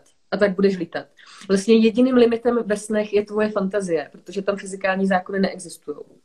Co je fakt hustý, je, že ty si prostě můžeš třeba naučit stojkovat nebo cokoliv, čeho se bojíš, tak můžeš vlastně v tom snu si prožít. A tvoje tělo, nebo respektive tvůj mozek, nebude vědět rozdíl. Je to jako virtuální realita, kdy ty prostě nevíš, jaký je vlastně rozdíl mezi opravdovou realitou a virtuální, protože prostě tvůj mozek to zažil. Takže i když tam, já když jsem třeba měla problém se stojkou, jsem měla problém uh, padat, uh, tak jsem v lucních snech se učila padat a vždycky jsem spadla do obláčku. A naučila jsem se takhle uh, vlastně padat. A fakt jako druhý den moje tělo, můj mozek si to pamatovalo a už jsem neměla ten strach a už jsem uh, prostě stojkovala vlastně bez toho, aniž bych uh, měla ten strach z toho pádu. Tak to je hodne deep. Uh, si pamätám taký teraz uh, trošku taký, taká trápna príhoda z detstva, ale ja som, keď som bol malý, uh, začal som chodiť na ryby, ja neviem, možno som mohol mať 8, 9, 10, neviem koľko rokov, ako chodil som na ten krúžok ako mladých rybárov. A ja som sa absolútne nedokázal naučiť viazať akože háčik. Uh, jednoducho, nie som až tak zručný človek a môj, môj mozog to nejak nedokázal skoordinovať s rukami a jednoducho mi to nešlo. A ja si pamätám ako teraz, že ja som sa raz ráno zobudil a pravdepodobne to bol tým, že ten mozog celý čas nad tým rozmýšľal. Ja som sa ráno zobudil normálne s tým, že som išiel rodičom povedať, že ja som sa naučil viazať háčik. Ja určite viem viazať háčik. A ja som, ja som ho proste na prvý pokus dal.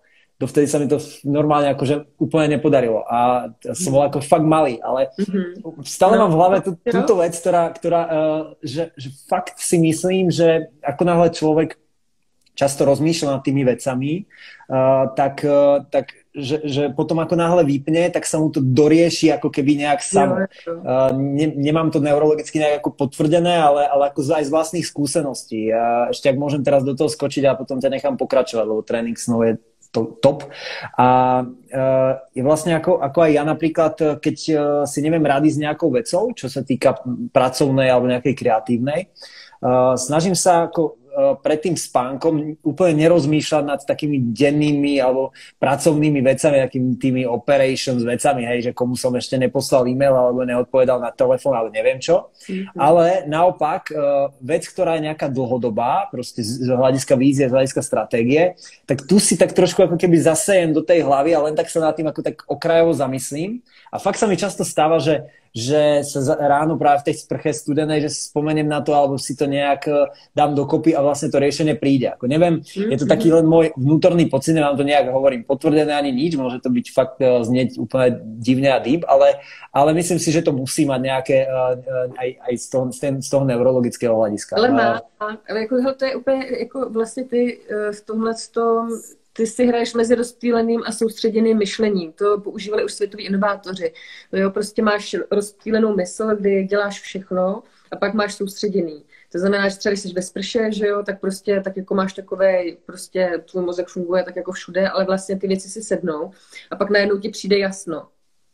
Přijde ti jasno mm-hmm. a ty se začneš soustředit a třeba pracuješ na ty věci. A ono se s tím dá vlastně takhle jako hrát, takže mm-hmm. to je super a moc se mi líbí, co jsi řekl že před tím spánkem uh, neřešit nějaké pracovní věci, to je fakt klíčový, protože přesně my si to taháme i do těch snů a fakt je ideální si před spánkem třeba přečíst nějakou science fiction nebo něco takového easy, jako rozhodně nic uh, biznisového nebo nic jako hard, uh, fakt jako spíš taky jako příběhové věci. A uh, třeba si i vypsat, proto i ten spánkový deník nemusí sloužit jenom k zapisování si snů, kdy člověk si trénuje tu paměť na ty lucidní sny, ale může to sloužit i k tomu, že se člověk vybleje prostě ty věci uh, ze dne a to člověk si to už ani nemusí potom číst. O tom to vůbec není, ale je to o tom, že to je na tom papíře a napíšeš to tam a je to prostě, není to v té hlavě, no. Mm-hmm. A ešte taký, taký mini hack ešte v tomto, tak eh, čo, keď, keď fakt uh, nad niečím intenzívne rozmýšľam práve takým tým denným a, a uh, neviem sa toho zbaviť, uh, tak mi pomáha ešte taká vec, že, že skúsim si spomenúť alebo, alebo dať sám sebe nejakú otázku a, a predstaviť si niečo úplne random, niečo z nejakého, buď keď som tam cestoval, že ja neviem, kto vie, koľko je motoriek vo Vietname. Ale nejaká úplne drbnutá otázka, ktorá, ktorá na chvíľu ten mozog dostane úplne, úplne niekde inde mhm. a, a to, mi, to, mi, to mi paradoxne celkom pomáha. Takže, uh, super, to skúsim niekdy. Takže vráťme sa ešte k tomu lucidnému spánku. Takže zapisujem si do spánkového denníčku veci a čo, mhm. čo potom? Čo, čo, ako s tým pracujem? No a potom je právě super, jsou jako takový, jako těch heků je víc, ale e, za, další dva základní jsou, je mindfulness během dne a říká se tomu checking reality. Znamená, že třeba já mám tady v ruce něco, tak prostě si řeknu tinktura nebo pero. Jo, prostě jsem jako vědomá, ale třeba si chytnu kliku a řeknu, hele, to je klika. Tohle udělám bě, během dne několikrát a tím okay. vlastně tak řeknu mozku, hele, tohle vypadá takhle a má to tady ten tvar. Takže v okamžiku, kdy já třeba chytnu kliku během dne, řeknu tohle je klika a pak jsem v lucidním snu a ta klika se rozteče, tak můj mozek bude vědět, aha, ale tohle není ta realita, takže ona se roztekla, takže já jsem ve snu. Jo, hustý. No a do, okay. takže, akorát právě tady nastává tady větší problém. Jo? V okamžiku, kdy ty si ze začátku uvědomíš, že jsi v tom snu, tak budeš tak excited, budeš prostě tak úplně jako z toho vzrušený, jako že úplně wow, to je skvělý, uh, že se tě celý, celým tím nadšením zbudíš. Jo. Takže tam je dobrý právě z toho nebejt paralizován a prostě říct si v pohodě, prostě zkusím to znova a zač- to, z začátku se to děje. Uh, studovali vědci docela zajímavou věc, že když právě se ti stane tohle, že se začneš probouzet, tak se začít točit dokola. A fakt to funguje. Nikdo neví proč. Prostě nějakým způsobem to funguje. Počkej, že sa, že sa prebudím eh, z, z tohto uh, spánku, kedy si uvedomujem, že spím a vtedy se začnem točit dokola. Jo, když, když, se začneš, když se začneš probouzet, aby se se nevzbudil právě. OK. Tak se začít točit dokola, z nějakého důvodu to funguje, nikdo neví proč. Počkej, v tom spánku, v tom sně? V tom spánku ještě právě. Oh, shit. Když, když už ucítíš, že právě se začneš probouzet. No. A jinak, potom další věc je mantra. Eh, dát si mantry třeba přes den a hlavně před tím spánkem. A dát si svoji vlastní mantru. Třeba dnes večer m, mm, budu v lucidním snu Jo, prostě a tohle si opakovat, mm-hmm. a než usneš. Zároveň je fajn vědět, co v tom lucidním snu chceš dělat, jo. Mně se stalo totiž několikrát, že jsem se ocitla v lucidním snu a teď jsem z toho byla úplně, aha, počkej, já jsem v lucidním snu, ale vlastně jsem nevěděla, co chci dělat. No a tak jako když tam začneš přemýšlet, tak se zbudíš, jo. Takže je fajn mít aspoň ze začátku mít pár kroků, co chceš zhruba dělat. Protože ze začátku je to jednoduchý. Většina lidí se chce buď s někým vyspat, Eh, se svýma hvězdama, že jo, nebo tohle chce lítat. Jo, to jsou taky ty klasiky. A potom, když, se to, eh, když už se toho člověk ukojí, tak uh, potom začne vymýšlet už nějaký víc jako smysluplný věci, třeba, okay. který, který jako uh, ho obohatí v jeho životě. Tím nechci říct, že tady ty předešlé experimenty by byly špatně, jo. Myslím, že to je věc, to je, to v pořádku. No a pak je ještě zajímavá další věc, a to tady někde mám. Jo, tady. Tady ta bylinka, Jmenuje se Kalea. Tady mám takhle, na, co jsem si vyráběla sama. Ale určitě, určitě uh, to koupíte i možná někde jako tinkturu. Nevím, já jsem si tu tinkturu vyráběla sama právě z, z jedné byliny. Je to teda strašně hnusný, jako jestli jsem někdy, uh, to je to fakt jako čaj z toho si neuděláte. A jestli jo, tak mi napište, že tak to fakt jako klobouček. To je tak hořký, je to fakt jako disgusting. Ale tinktura je v pohodě, dáte si třeba 10 kapek před spánkem a fakt to hodně podporuje eh, právě to lucidní snění nebo celkově mít větší jako živý, živý sny. Možná by mě zajímalo, co by se stalo, kdybych se toho vzala víc, ale to jsem ještě neskoušel. tak jako, to už jako, to je hmáč. Ale tahle ta bylinka ze všech bylinek na spánek nebo na ty lucidní sny mi, se mi osvědčuje fakt jako nejlepší. Otestováno na spousty, spousty lidech. Eh, takže takže takhle stáno. Masaker. To, jsou, to jsou základy, hele, ale hlavně to se trpělivost a fakt si za, založit ten spánkový deník během dne, prostě být co nejvíc mindful. A e, ještě další věc možná, co bych chtěla zmínit, je, já jsem z začátku, když jsem začínala s lucidními sny, tak jsem uh, hledala něco, co bude moje poznávací znamení, že jsem teda ve snu. A já jsem si vybrala tenkrát hodiny. A věděla jsem, že když ty hodiny se roztečou, tak že jsem ve snu. A když jsem měla takový divný pocit, že mi to je jaký divný, to je to sen, není to sen. A najednou, počkej, hodiny, hodiny. A teď jsem najednou našla hodiny a oni se roztekli a já, jo, hustý, já jsem ve snu. Takže něco takového svýho. Ale ideálně to někomu neříkejte. Já už to mám dávno jako jiný, jo, a měním si to, ale...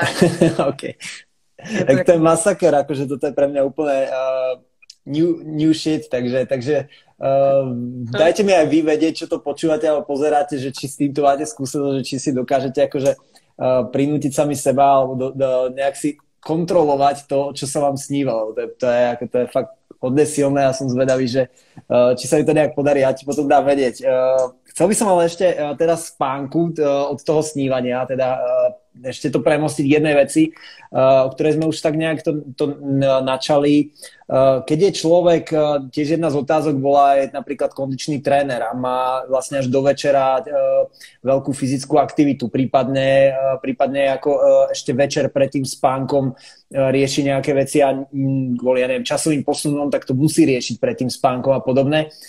Či sú nejaké také jednoduché veci, ktoré by si vedela poradiť, také heky, ktoré, ktoré by ten človek mohol spraviť, aby sa jednoducho do toho spánku, aby ten spánok bol kvalitnejší. Takže, takže nejaké easy hacks, easy fixy na, na kvalitnější spánok. Jo, hele, tam bych si dala klidně potom před spánkem teplou vodu, teplou vanu s Epsom solí, protože tam je hodně minerálu a fakt i ty svaly hodně uvolní a pokud člověk i třeba hodně trénuje přes den a je právě hodně takový jako nabuzený, tak uh, se člověk potřebuje fakt hodně uvolnit, ty svaly se potřebují uvolnit. A tady ta sůl, Epsom sůl, tak ta fakt hodně pomáhá. To je takový simple hack uh, s tou teplou, s tou teplou vanou. Um, tam taky záleží na dávkování, já jsem si jednou toho dala fakt hodně. A pak jsem byla gumový medvídek, ale je to moc příjemný, jako být takový gumový medvídek. Ráno se zbudíte úplně takže... A pak jsou samozřejmě různé byliny, které taky hodně uvolňují, uh, ale tam je to zase jako hodně individuální. Třeba kozlík je taky dobrý. Mě teda, na mě je moc náročný, ale uh, no, jako zkouš, zkoušíme tady kde co, takže záleží uh, na každém tak je to individuální. Ale kozlík se ukazuje jako hodně, hodně intenzivní bylina právě. Valerie. Kozlík. Kozlík. Okay. Nice. A uh, posledná otázka k spánku ešte. Uh, nejaký knowledge base, okrem teda asi Why We Sleep alebo niečoho, uh, niečoho od tohto autora, tak možno niečo, kde, po čo by mohli ľudia siahnuť, ak sa chcú dozvedieť viacej o nejakom zdroji, či už o tom snívaní, či už o tom, uh, o tých jednotlivých uh, etapách spánku a tak ďalej. Mm-hmm. Jo, hele, tak tam určitě teda Matt Walker, proč spíme, jak jsi zmiňoval, potom uh, třeba na YouTube, tak není to úplně extra sledovaný kanál, ale je hodně zajímavý. Je tam pár videí, oni už nějak nepokračují, jmenuje se to Dream Lab a uh, je to vlastně od jednoho autora, co napsal knihy na lucidní snění. Já jsem se mu ozvala, on je úplně mimo sociální sítě teďko, protože píše nějakou další knihu na, na, na lucidní snění, ale fakt jako jeho knihy jsou jako fakt top. Takže i když není nějak extra jakoby vidět momentálně, tak eh, tohle je fajn. A potom eh, jeden vědec se k tomu věnuje hodně právě i lucidním snům a tady těm fázím. Uh, jmenuje se La Berge, La Berge. Tak hmm. ten má zajímavý i spoustu videí na YouTube, takže, hmm, takže to bych asi řekla jako takový nice. řeknout. Hmm. A uh, si, že i tady docela v Čechách jako se tomu věnuje pár lidí, co se týče toho lucidního snění. Já už se nepamatuju přesně, přesně jména, ale vím, že jsem taky na něco narazila. Ale teď už to zase tak jako extra netrénuju, ale kdybych kdybych eh, to začala znovu trénovat, tak určitě hledám i tady v Čechách, protože vím, že tady jsou jako docela jako zajímaví lidi. Super. A teraz uh, už jsme se vyspali, uh, boli jsme v ládovej vodě a uh, poďme sa nadýchnuť. Čo tak uh, niečo ohľadom dýchania, dýchacích techník, veci, ktorým sa tiež už určitú dobu venuješ. Uh, Myslím si, že teraz uh, je asi tá uh, najpopulárnejšia, najviac videná Wim Hofova metóda, ktorú tiež si bola jedna z prvých, mám pocit, ktorí, ktorí to, sa to tomu tu venovali v týchto našich končinách, aspoň minimálne ja, ako som to vnímal, ako som už spomenul niekoľkokrát, tak, tak som sa dosť aj z tvojich videí ako keby učil alebo, alebo inšpiroval. Uh, prečo by som mal začať eh, s dýchacími nejakými cvičeniami alebo s dýchacími metódami? No, protože vlastně i v tom biohackingu začínáme přesně těmi základy. Jo. Jako když si nedáš nějakou bylinu, tak asi tě to nezabije, ale v okamžiku, kdy nebudeš dýchat nebo nebudeš spát, tak asi nebudeš žít. Takže to hodně ovlivňuje naši biochemii, celkově náš organismus. A dech je zadarmo a tyjo, to, co nám fakt může dát, že to určitě víš, právě jak jsi zmiňoval Wim metodu, tak to je skvělá technika, která je dynamická a dokáže nás hodně hm, zaktivovat. Je to právě není to jako úplně relax technika. Uh, pomáhá dost lidem, takhle já jsem napojená na celosvětovou komunitu právě v rámci Wim metody a musím říct, že to je fakt fascinující, kolik lidem to pomáhá, uh, s čím to lidem pomáhá. Samozřejmě ne všechno je ještě vědecky potvrzené, ale jako to prostě budeme čekat ještě nějakou dobu. Je důležité být u toho opatrný, ale je taky fajn vědět, že každá technika má nějakou dobu trvanlivosti.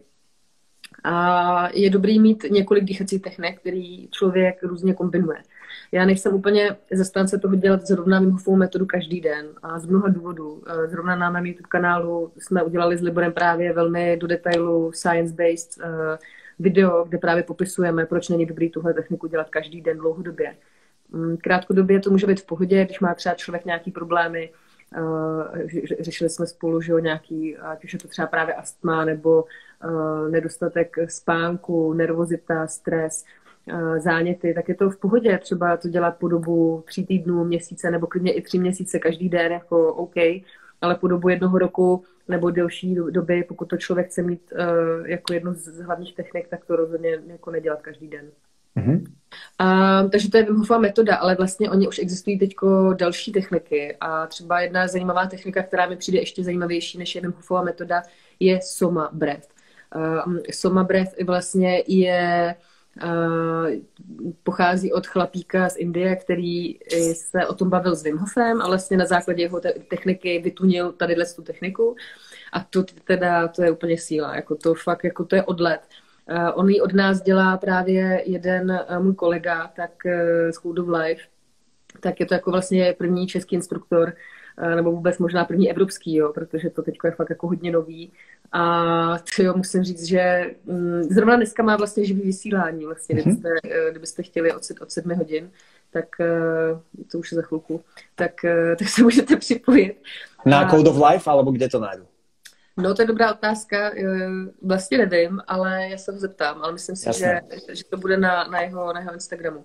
A keby sme to, prepač, keby sme to teda mohli len tak nejak ako zhrnúť, aby sa v tom ľudia úplne nestratili. Takže Wimhofová metóda, v podstate prekysličím, uh, prekysličím organizmus, takže, takže uh, hlboké nádychy, uh, nie úplný výdych a toto pokračuješ nejakú dobu, následne zadržanie dýchu, retention a, a tak a proste ideš niekoľko kôl. Aký je potom rozdiel, dajme tomu, v tej konkrétne, konkrétne v tej SOMA breathing technique?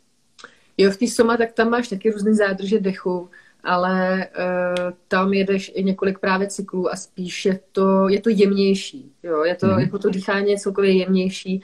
Není to tak uh, dynamický právě jako u té Wim metody, která mi přijde jako dost vlastně drastická. A když to člověk pře, uh, přepálí, tak uh, si může ublížit. Uh, ale to jsou, to jsou takové jako techniky, které já bych ze začátku dělala právě pod nějakým vedením, protože mm. pokud člověk se dělá správně, jak říkám, dneska existuje spousta lidí, člověk ani nemusí chodit jako k instruktorovi, uh, stačí prostě uh, se třeba i, hm, já nevím, dneska máme i biohacking CZSK, Facebookovou skupinu, kde i spousta lidí chodí různě po po různých městech prostě se koupat a, a dýchat společně. Spousta tady těch lidí byli u nás na kempu a dostali je vedení, takže uh, myslím si, že je fajn jako um, začít prostě takhle, nebo i třeba skrz ty videa, tak jsou, jako je to taky fajn asi, ale tak nevím, no. Uh, takže to jsou taky ty dvě hlavní a potom určitě, co bych fakt doporučila, je stretching bránice, o které jsem mm-hmm. se bavila právě na začátku. A to fakt je jenom tříminutový, kdy Uh, jako to, to bych chtěla taky právě ukázat, uh, klidně si to vygooglete, tam fakt jako spousta fit center má jako videa na tohle, protože to je základní, základní takový, takový dech, který se používá. Takže stretching bránice, vloženě mm-hmm. takhle se to jmenuje.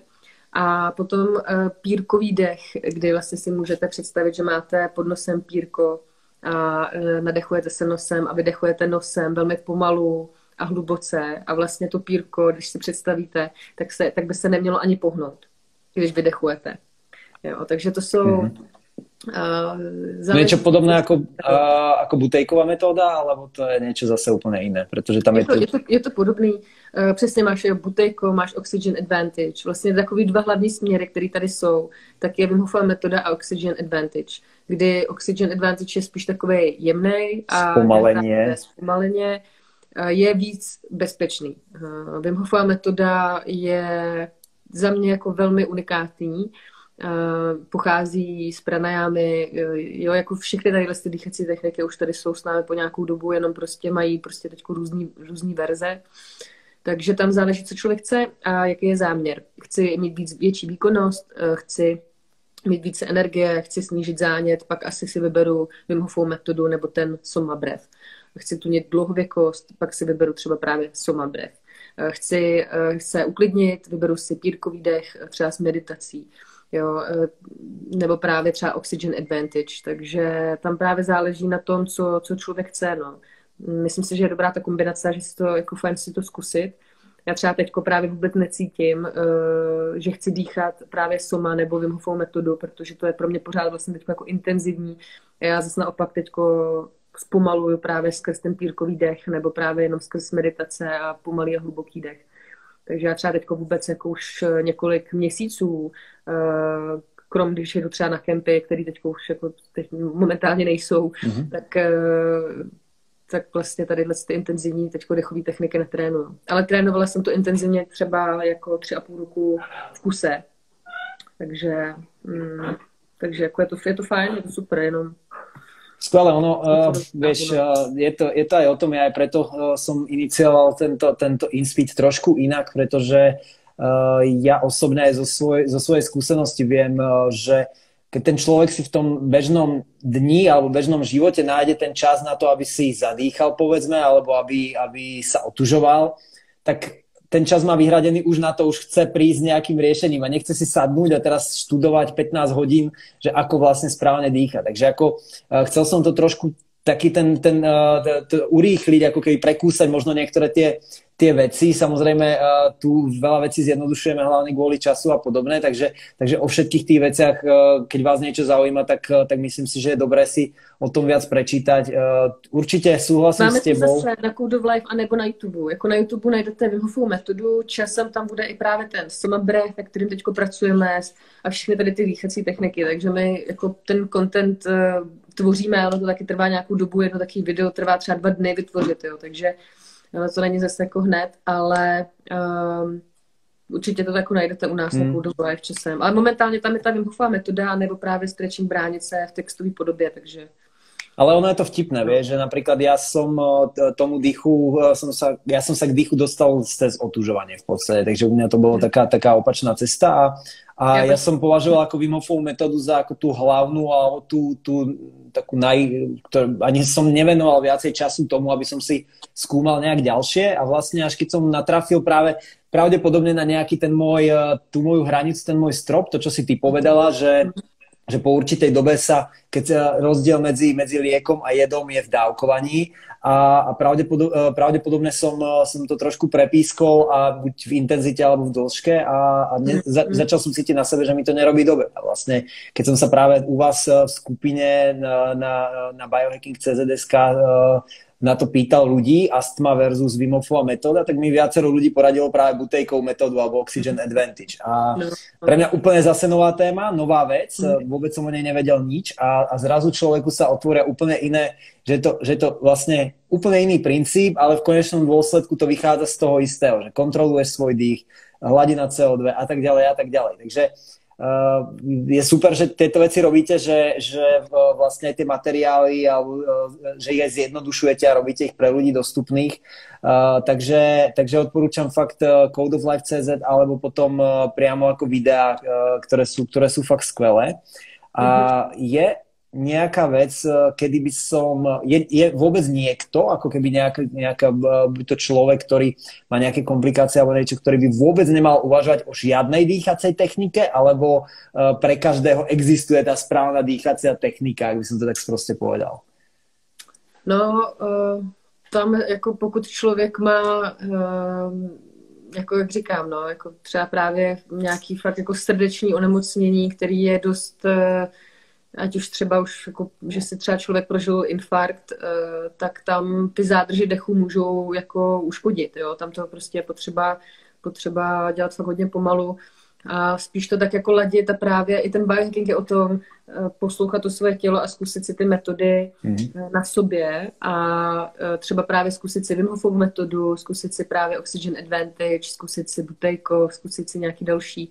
Ve finále jako ono to nezabere zas takovou jako Mm, dobu, jako dneska, jako i právě skrz ten online eh, existuje spousta materiálů a i kdyby člověk měl začít a dělat to špatně, tak je super, že začal. A právě hmm. je dobrý eh, se nebát vůbec jako chybovat, protože já, já sice říkám, ale je lepší to mít pod nějakým dohledem, ale já jako rozhodně nejsem člověk, který by něco dělal pod dohledem. Jako jo. Já jsem prostě jako živý důkaz toho, že já jako nikdy nic nedělám pod, pod dohledem. Prostě všechno na sebe zkouším, jdu po hlavě, pak si nabiju hubu a pak uh, jdu do toho znova.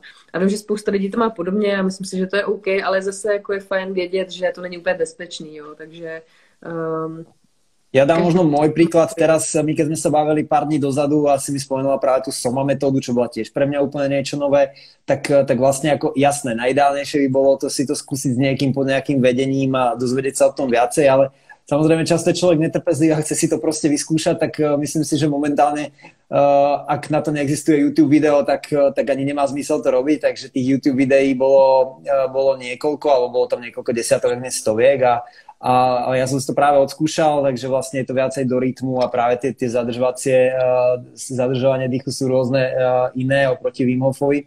A, a je, to, je to fakt sranda v tom, že sranda proste, je to úlet v tom, že, že je to zadarmo, to dýchanie ako také, je to v každom z nás, bez dýchania neexistujeme, tak ako bez spánku.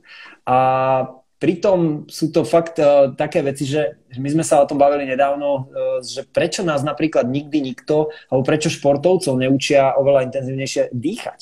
Že uh, keď, keď mladého športovca naučíš dýchať správne, tak podľa mňa to je, to je alfa omega akéhokoľvek úspechu z môjho nejakého laického pohľadu.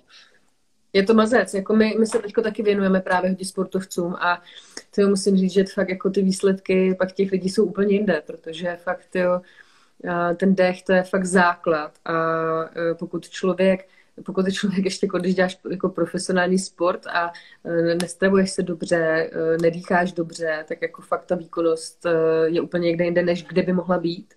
A je to jako prostě jako waste of potential vlastně toho člověka, jako fakt prostě je to škoda, no s tím dechem, tak jako, já si myslím, že nejhorší je vlastně jako začít, že, jo? že jako člověk prostě se mu nechce, že jo, teďko neví co a jak, ale mě třeba pomáhá si k tomu pustit nějakou fakt jako dynamickou hudbu, nebo prostě něco, co mě tak jako nabudí, co vím, že mám, že mě nakopne, mám třeba asociaci k tomu, že tady prostě teďko jdu cvičit, tak jdu cvičit právě i ten dech. A musím říct, že mám i zkušenosti třeba takhle s lidma, že se lépe udrží u, toho, u té dýchací techniky než u meditace jako takový, protože u meditace tam necítíš ten rozdíl tak rychle, jako právě u toho dýchání. Že u té Wim metody tam je to okamžitý a plus i vlastně fyzicky se člověk může začít měnit. Jo. Tam člověk fakt jako na sobě cítí a i vidí potom za pár dnů třeba i eh, výsledky. Já třeba právě ten můj kolega, co začal dělat ten Soma Breath, tak to je úplně neskutečný. Jako on předtím dělal v armádě eh, a teď prostě začal dělat tohle a to je fakt úlet. Jako to, prostě ten člověk se během tří týdnů furt se směje, prostě vypadá úplně na úplně září, jo. A fakt jako já si pamatuju sama, když jsem začala dělat i třeba právě tu Wim metodu, tak jsem měla to samý, protože najednou to tělo začalo uh, pracovat jinak a um, lépe jsem se prokrvila, prostě kyslík se dostal tam, kam měl, ale zase doba trvanlivosti, ono to nefunguje prostě furt, že? Takže... Znova, ty extrémy, presne tak. Super, takže endorfíny a všetko možné uh, no, spustené. No, jasne, jasne. A jedna taká otázka, ktorá by mohla nejakým spôsobom zhrnúť toto všetko, aby sme teraz ľudí úplne neprehltili informáciami, ale uh, keby som si mal teraz predstaviť, ako funguje tvoja denná rutina, Eh, zaujíma ma možno tá ranná a potom následne, ako je ten biohacking eh, zapojený do tvojho bežného života. Že mám si to predstaviť, že si nonstop napojená na nejaké čipy a, a všade bylinkuješ a, a s každým, uh, každým otvorom tela dostávaš do seba niečo iné a, a, a riešiš, ako, ako si toto mám predstaviť a uh, ako je to zapojené do, do tvojho bežného denného života. Mm-hmm. No, hele, jako já jsem takový jako specifický případ v tomhle, protože uh, já jsem dřív žila tak, že jsem měla každý den stejný. Že jsem prostě každý den měla stejné rutiny a pak jsem najednou zjistila, že mi to nevyhovuje. Mhm. Ale mnoho lidem to vyhovuje, jo. Takže já momentálně mám spíše takový, můžeš, můžete si to představit jako kufříček hraček biohackerských, který si vytahuju podle toho, eh, jak potřebuju. Takže dopoledne si dávám většinou studenou sprchu, Dříve jsem to dělala striktně každý den, teď už to nemám každý den, ale mám to většinu, většinu času. že ráno prostě vstanu, dám si, dám si studenou sprchu, uh, dám si meditaci a meditaci si myslím, že je fakt jako hodně důležitá uh, dělat právě ráno a večer mm. před spaním. Ideálně i třeba během dne, ale pokud by člověk měl meditovat, tak aspoň 10 minut ráno, 10 minut večer právě před spánkem. A i ten den se potom, i, prostě je to jiný, jako když se člověk ne, dá, když si dá člověk ten čas pro sebe. Jako třeba jenom, i kdyby půl hodiny, já to mám fakt tak, že ráno vstanu a minimálně dvě hodiny vůbec jako neřeším nikoho jiného, jenom sebe. Mm-hmm. A to je jedno, i kdybych koukala jenom, jenom do blba, ale prostě vím, že tyhle ty dvě hodiny jsou pro mě a já můžu dělat, co chci. Můžu si dát studenou sprchu, můžu se zameditovat, můžu se zacvičit. Mm-hmm. Ráno dělám stretching bránice právě, která zabere mě třeba 5 až 10 minut, ale z začátku mi zabrala třeba 3 minuty, protože jsem to nedělala takhle intenzivně.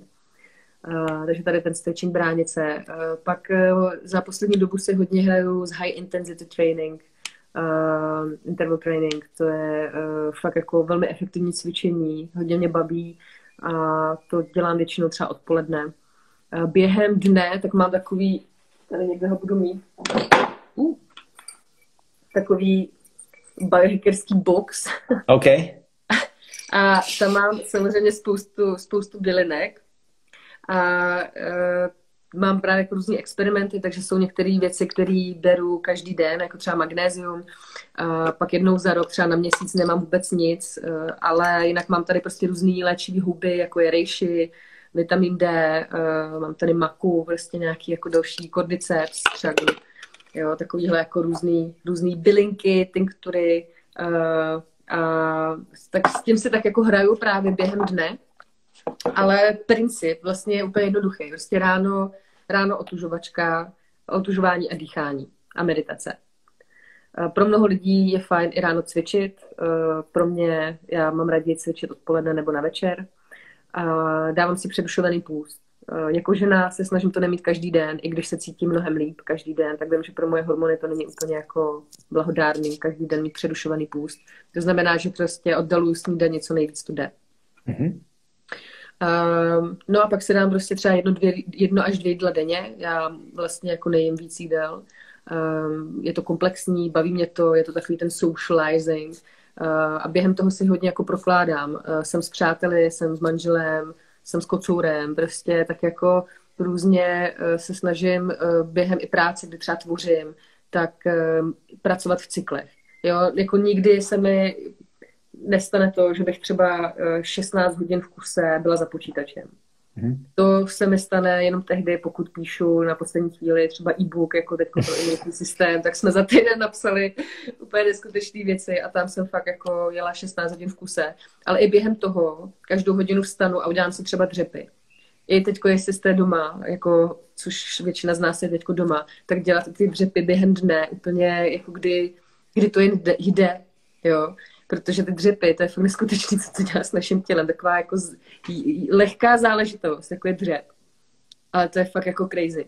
Mm-hmm. Takže uh, taky popisujeme v e-booku, co to všechno dělá s tělem, nebudu tady jako zacházet uh, pod procesu. No a um, potom nějaký jako rituály. Uh, já mám právě takový ty dvě hodiny ráno a dvě hodiny před spaním. To jsou dva základní rituály, kterých prostě si držím. A hodiny před spánkem, tak už nemám vůbec, uh, nemám vůbec uh, jako nekoukám se do, do, do monitoru nebo do, do telefonu. Uh, už po páté hodině nosím právě tady ty brejle, které mi blokují modré světlo. Takže normálně bych je teď na sobě neměla, kdybych nekoukala teď do telefonu. Uh, já je nenosím jako normálně, ale nosím jenom, když koukám právě do monitoru nebo do, do telefonu po páté hodině dve hodiny som ťa teraz prinútil pozerať do displeja a sa moc ospravedlňujem. Dúfam, že to sa to neodzrkadlí na tvojom spánku. Ne, ne, tak to je v pohodě. To jako, já, já, já se nekoukám do monitoru fakt jako minimálně ty dvě hodiny před spánkem, ale když, když koukám uh, během dne po té pátý, tak mám, mám tyhle ty brýle.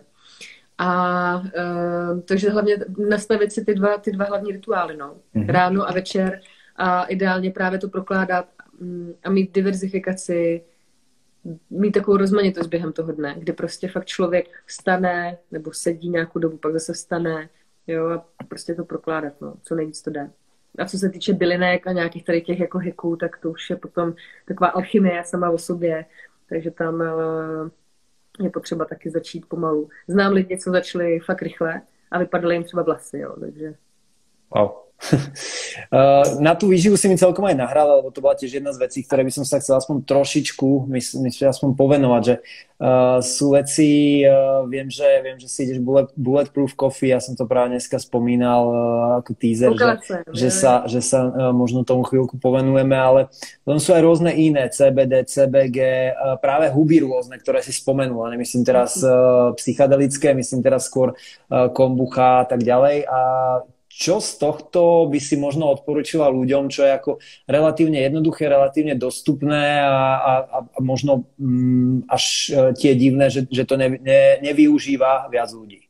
Mm-hmm.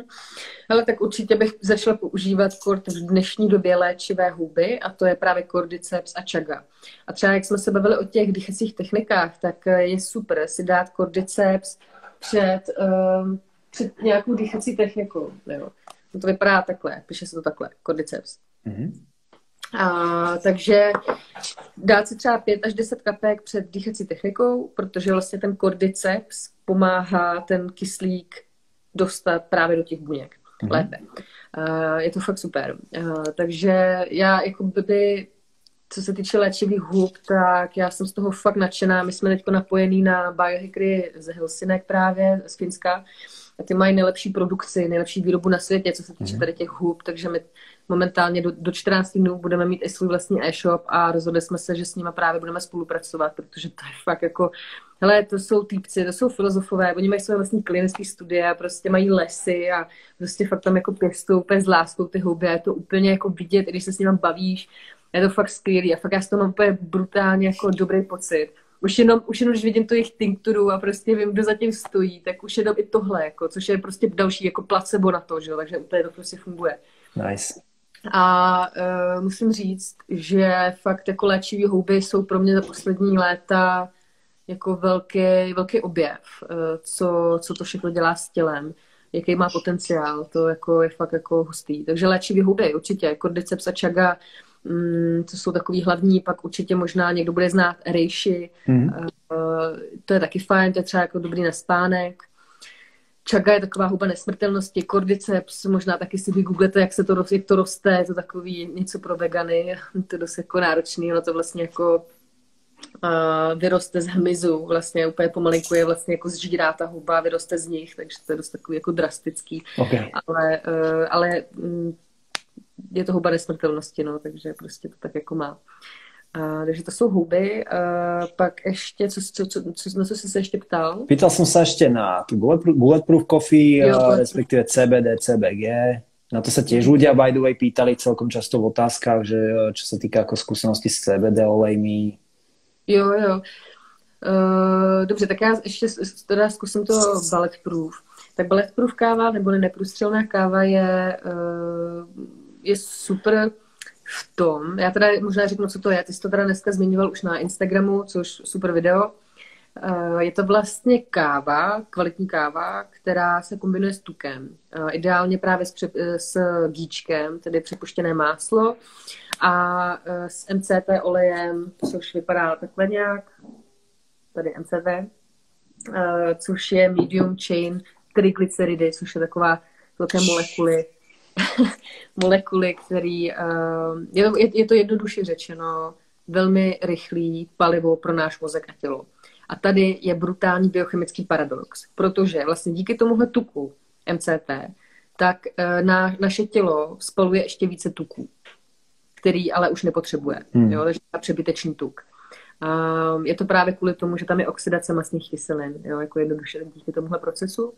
A e, vlastně i ten kofein, když my si dáme kávu, do toho si dáme trošku tohohle oleje, pak třeba díčko, do toho si dáme ještě pár kapek třeba čagy, mm-hmm. mixujeme to, aby se to, ten tuk navázal na ten kofein a pijeme to ještě třeba po dobu 4 až 5 hodin, což je úplný mindfuck, jako pít kafe 4 až 5 hodin, jo. ale je to fakt, když děláš jakoukoliv kreativní práci, třeba za, za kompem nebo kreslíš nebo cokoliv, tak si dej bulletproof a pí 4 až 5 hodin. A sen, piť kávu 4 až 5 hodin je sen pre mě. No, vidíš to, hele, udělej si, udělej si prostě třeba jako, dej si do toho i třeba nějaký, já používám rostlinný mlíko, abych jsem toho měla trošičku víc a pak to právě prokládám.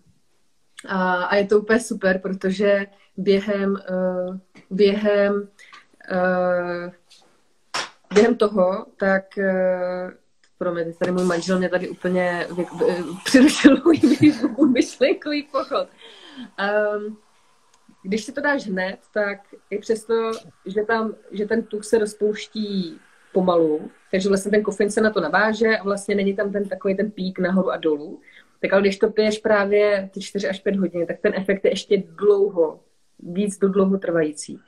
Což je úplně super, takže ty vlastně se cítíš skvělej, jsi víc takový nafrčený, ale ne tak jako, že by tě to vystresovalo nahoru a dolů, že by si cítil srdce, jak tě dělá bum, bum, bum, ale je to prostě takový jemný, pozvolný. Není to právě tady ten efekt, ale je to takhle. A zároveň ten MCT olej snižuje pocit hladu, protože blokuje určitý, určitý hladový hormony a e, člověk právě, i třeba když má ten přerušovaný půst, tak e, vydrží právě déle bez, bez toho jídla a uh, má to prostě spoustu, spoustu dalších jako blahodárných účinků na kognitivní funkce na mozek. Tak. Takže jako za mě, pokud dřív nebylo normální mít doma olivový olej a dneska už má každý, tak si myslím, že by měl být každý doma i MCT olej. Mm-hmm. A i se ze studií ukazuje, že právě je důležitý mít uh, vlastně to jsou jako uhlíkové zakončení C8 a C10, takže mělo by tam být napsáno právě C8 nebo C10. Mm-hmm. Jinak bych to nekupovala, protože to pak nebude zase tak efektivní, takže ta C8 nebo C10 je nejvíc, eh, nejvíc efektivní, tak aby ten mozek si z toho dokázal vytáhnout uh, to palivo prostě, mm-hmm. energii, kterou potřebuje. Dobre, a keď ešte stopnem teraz, tak najlepší zdroj napríklad na takéto veci, kde nakupuješ eh, možno aj ty, tak, tak kde by ľudia mali siahnuť, lebo tých, tých prípravkov Ale, na svete miliarda, takže. Jo, jasně, já určitě kupuju od Powerlogy. Vlastně tady to přímo tady máte napsaný. To je vlastně, to je vlastně slovenská... slovenský startup alebo slovenský, slovenský jo, brand. Jo. To je slovenský startup, eh, vlastně to založil Dušan Plechta, je to můj kamarád, já fakt, jako, fakt mu fandím, líbí, se mi, jak to dělá, líbí se mi ta výroba, eh, jeho myšlenky, co všechno jako zatím dělá. Takže tohle on má i super top kávu, ale samozřejmě to je na každém, dneska už má jako spousta lidí jako dobrou kávu. Je, je fajn si nedávat jehlavanku a, a, a Ale i to jsem viděla, jako jo, takže proto to zmiňuju. Pak jako mít kvalitní kávu, dát si tady ten MCT olej do toho, kdyby třeba člověk neměl přepuštěné máslo, víčko, tak si může se dát třeba i obyčejné. Ono tady v Čechách to máslo máme docela v pohodě. Jako kdyby jsme žili v Americe, tak se nedivím, že tam hodně řeší grass fed, hmm. ale tady v Čechách je to docela jako pohoda můžeš si prostě brát i s těma, i s těma hubama, no, prostě cordyceps nebo čaga, dát si do toho pár kafek a udělat si takovou kávu nesmrtelnosti.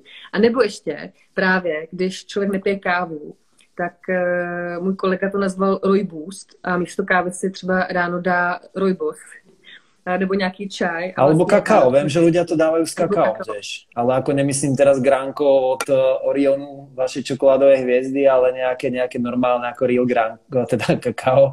A myslím si, že aj s tím to nějak funguje.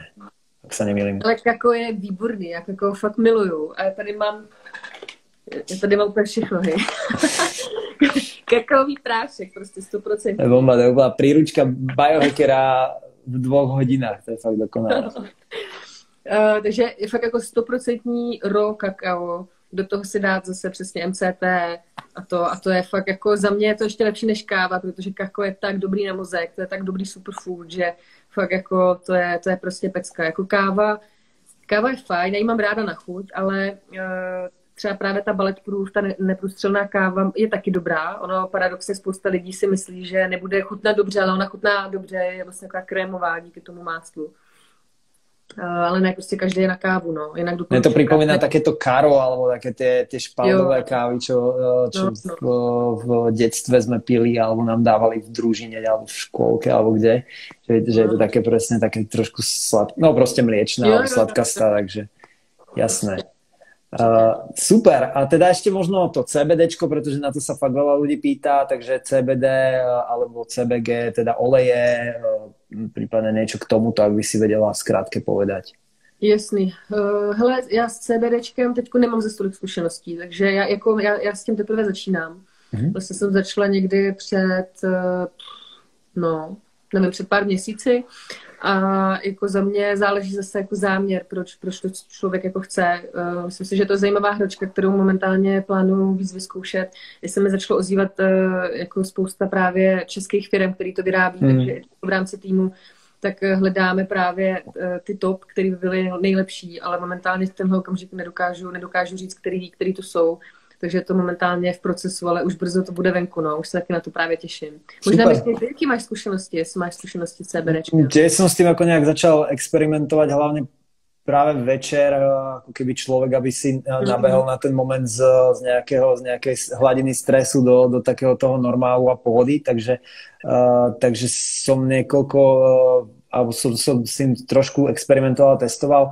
Uh, tam je dôležitý ten pôvod, ak sa tu niekto pýta, že, že ktorý a prečo. Uh, dôležitý je hlavne ten pôvod, uh, pretože keď si to kúpite niekde u Vietnamcov vo večierke, tak ako asi, asi je pravdepodobné, že to nebude z nejakej biofarmy alebo nebude to uh, nejaké, z nejakého rozumného uh, pestovania, takže, takže ako, uh, tam je naj, ako v konečnom dôsledku tá bylina je veľmi podobná, ale dôležité je vedieť, že z akej farmy alebo z akého pôvodu to má. Ja mám veľmi dobrú skúsenosť z Dr. Weed CZ, Uh, Kanaker je ďalší teraz tiež, tiež ktorý nás v Čechách spúšťajú a majú k tomu dosť veľa štúdií a rôznych ďalších vecí, aj rôzne maste k tomu robia, práve to CBG a podobné. Ale vravím, tých brandov je viacero, aj tu v Čechách a na Slovensku, že, že ich vzniklo poslednej dobe viacero ľudí to začalo dovážať, vyrábať a podobné. Takže veľa ľudí to aj fajčí, takže to, čo, čo ako pre astmatika není úplne dobrý spôsob, ale ale eh, len možno pre ľudí, ktorí, ktorí nevedia, tak, eh, tak vlastne cannabidoil je v úplnej skratke, tak vlastne účinky ako kanabisu ako takého, ale uh, bez tej THC látky, ktorá vlastne spôsobuje halucinácie a všetky tie stavy, ako ktoré, ktoré pri, pri bežnom hulení sú. Takže, takže uh, má to tiež veľmi ako rôzne blahodárne účinky z hľadiska ako onkologických pacientov a tak ďalej, ale to asi nemusíme ísť teraz do, do nejakých detailov, ale uh, Super, takže budeme sa tešiť, eh, keď vyjdete s nejakými, s nejakými ďalšími vecami k tomuto, takže huby jsme prebrali jo, tiež. A... Jako to, a... mě, to fakt přijde jako super téma, právě to CBDčko. A i mám právě takhle jenom jako zkušenosti večer, jak si říkala, to, to, je, to je super. To, jako sice tam není THC, ale jako cítíš to, že jo. A v některých je i jako nějaký procento, není to jako úplně, úplně, že by to bylo bez, takže tam taky záleží. Ale jak se zmiňoval, to je u všeho, ať už je to u hub, u doplňků nebo právě u toho CBDčka, velmi důležitý výroba. Hmm. Fakt podporujte to, co je prostě dobrý. Ideálně lokální, jako lokální trh a pokud to nemůže být jako lokálně, tak fakt jo, si dohledejte, co nejvíc to jde, e, odkud to pochází, jak je to vyráběný, protože to právě tady u těch Super. Uh, Veronika, uh, dokázali by sme sa o tomto asi baviť celkom dlho. Mne je trošku úto, že uh, sme až tak veľa času nevenovali tebe ako osobe, pretože ako som spomenul, napísal si knihu, si človek, ktorý, uh, ktorý je veľmi šikovný, uh, má veľa rôznych zaujímavých projektov. Uh, také tie moje klasické otázky, že kým by si chcela byť na 24 hodín, alebo keby som ti s niekým mohol uh, dohodnúť večeru, ti asi nepoložím, pretože ty si mi vlastne povedal, že ty si to dokážeš vysnívať a, a dokážeš si to, si to privolať v tom sne. Ale aj tak ma to zaujíma, keby si bola na 24 hodin, keby ti dám tu možnost. Ty jo, hele, já bych chtěla být, eh, já bych chtěla být nesmrtelná na 24 hodin. Prostě vlastně fakt jako vědět, co to jako opravdu znamená. Úplně jako na každou hmm. buňku být jako nesmrtelná. Hmm. Tak to bych chtěla, no. A kdyby to znamenalo to, že bych měla, že bych vypadala jinak, jako že bych třeba vypadala jako robot, zase v pohodě na 24 hodin tak asi to. Skvelá odpoveď, takú som ešte nedostal, takže uh, možno na Margo toho ja odporúčam jeden podcast, ktorý spravila, uh, myslím, že, že v Juhoafrickej republike vznikol, bol to asi 8 epizód, uh, volá sa to 200 Year Old, uh, myslím, že akože uh, tá premisa bola, že už teraz je medzi nami človek, ktorý sa dožije 200 rokov. A boli to vlastne jednotlivé epizódy, každá zameraná na určitú oblasť a boli to rozhovory s touto pani, ktorá akože v tom roku 2030 alebo 40 slávila tie 200 narodeniny. A, a bolo to fakt vtipné, lebo my sa tu bavíme nesmrteľnosť, forever young a tak ďalej, ale uh, také tie zásadné otázky. Išla by si do dôchodku? Ak áno, tak koľkokrát za život? Uh, mala by si z čoho vôbec žiť? Uh, čo, čo nejaké ako vzťahy? Mala by si jedného partnera alebo viacerých? Ona práve tam mala uh, manžela, ktorý sa rozhodol neísť do tejto ako keby uh, dlhovekosti, takže vlastne chcel, chcel dokončiť ten život prirodzene, ale ona vlastne, vlastne v tom pokračovala, takže, takže on starol zásadne a ona vlastne bola stále na tom istom veku. Takže ako veľký mindfuck a veľmi na, na zamyslenie, myslím len eh, v tom, že čo toto všetko znamená, tak, tak vám fakt odporúčam tento podcast, ja to dám do linkov dole do, do show notes. A teraz by som ti dal takých 10 eh, otázok, ktoré kladiem všetkým mojim hostom na záver, eh, také fire questions, ale to, že ich dávam rýchlo, tak nemusí znamenať, že ich musíš rýchlo odpovedať, ale my sme sa bavili dosť o biohackingu, ale možno si aj veľmi produktívny človek a existuje nejaký lifehack, niečo, čo ti šetrí fakt veľa peňazí, času? Mm-hmm, lifehack. No určitě Paretovo pravidlo. Princip 20 na 80. Prostě vždycky se sama sebe zeptám, co je těch nejdůležitějších 20%, co mi přinese těch 80. A ať už je to právě 80% výsledků nebo financí.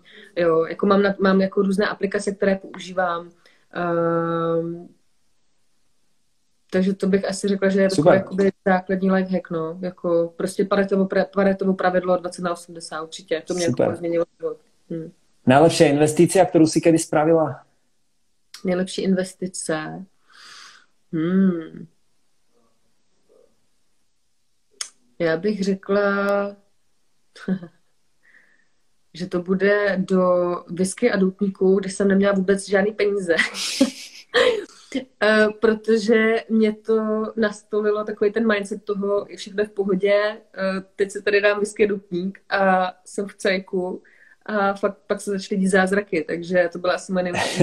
nice. tak to ma baví, to ma baví. Uh, uh, je nejaká malá vec, ktorú si za posledné obdobie v živote alebo v pracovne zmenila a mala veľmi veľký efekt? Eh, řekla bych, můj přístup ke tvorbě. Mm-hmm. protože já jsem zjistila relativně nedávno, že právě funguji tak, že když tvořím něco nového, a třeba knihu nebo prostě nějaký jako větší projekt, tak já funguji velmi intenzivně třeba tři týdny, prostě každý den úplně brž, a pak třeba odpočívám mm-hmm. dva týdny. Že to mhm. nemám tak jako, že každý den. A to jsem zjistila vlastně relativně nedávno, kdy jsem si i dovolila vlastně, že to takhle mám a že mý kolegové to tak nemají. Takže, nice. takže tohle. Hm. Keby si mi mala povedať nejaký track, ktorý ťa dokáže vždy nakupnúť, nejaká pieseň? Mhm. Hleď. Man with no ego. OK. Nepoznám. Tak to je hodně, hodně zajímavý artista. Jako ten je takový hodně spiritual až jako takový psychedelický bych řekla, takže tak to, to mě hodně nakopne. Nice. Keby si si v knižnici mohla nechat len jednu jedinú knihu, ktorá by to bola? Byla by to od Ayn Rand, což je filozofka právě, která navázovala na stoicismus, uh, takže asi její knihy, uh, respektive uh, Fountainhead. OK. Uh, keby musíš do konca života jesť len jednu vec, ale môžeš si vybrať, čo by to bolo. Mm-hmm.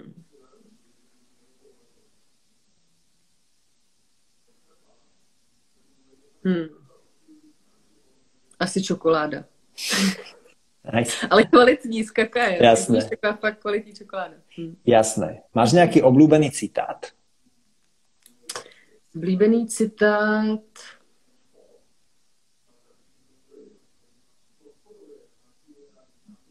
Hele, nemám. Uh, možná asi jako od Bukovského se mi líbí uh, Svět patří těm, co se neposerou. Mm-hmm. Tak asi to. to, to má, v tom vidím jako velkou hloubku a No, nice. A úplne posledná otázka, keby ti s Markom Zuckerbergom vybavím, že môžeš eh, na Facebook postnúť niečo, eh, čo uvidí zajtra vlastne polovica populácie, eh, že sa to každému objaví v newsfeede, čo by to bolo? Čo by si povedala svetu? Bych asi řekla, štěstí přeje odvážným, neboj se chybovat. Nice, takže týmto by som ukončil túto našu uh, InSpeed Mastermind Session, Masterclass uh, v biohackingu. Ja som ti extrémne vďačný za, za tvoje mm. odpovede. Veľa ja. som sa toho naučil, už sa teším, ako si predsa mnou dám jacín, uh, ako si budem uh, robiť spánkový denník a, uh, a, a podobné ďalšie veci, takže, takže uh, budem sa tešiť aj na vaše nejaké komenty alebo nejaké veci, ktoré, ktoré k tomuto máte, kľudne nám to dajte vedieť. Uh, Veroniku nájdete na Instagrame ako Veronika Dýr, uh, takisto na codeoflife.cz, uh, skvelý obsah, ktorý sme už niekoľkokrát spomínali. Ešte raz veľká vďaka za tvoj čas a vám všetkým ďakujem za pozornosť aj tým, čo ste boli live, za to, že ste si to aj teraz pozreli na Instagrame alebo teraz vypočuli na podcaste, možno spätne, prípadne na YouTube. A budem sa tešiť na ďalšie, YouTube, na ďalšie podcasty a toto bol Inspeed eh, s Veronikou Elister a majte sa krásne, zvládajte karanténu a aj ty Veronika, čau. Díky, Teno, díky, bylo to super. Napodobne, čau, čau.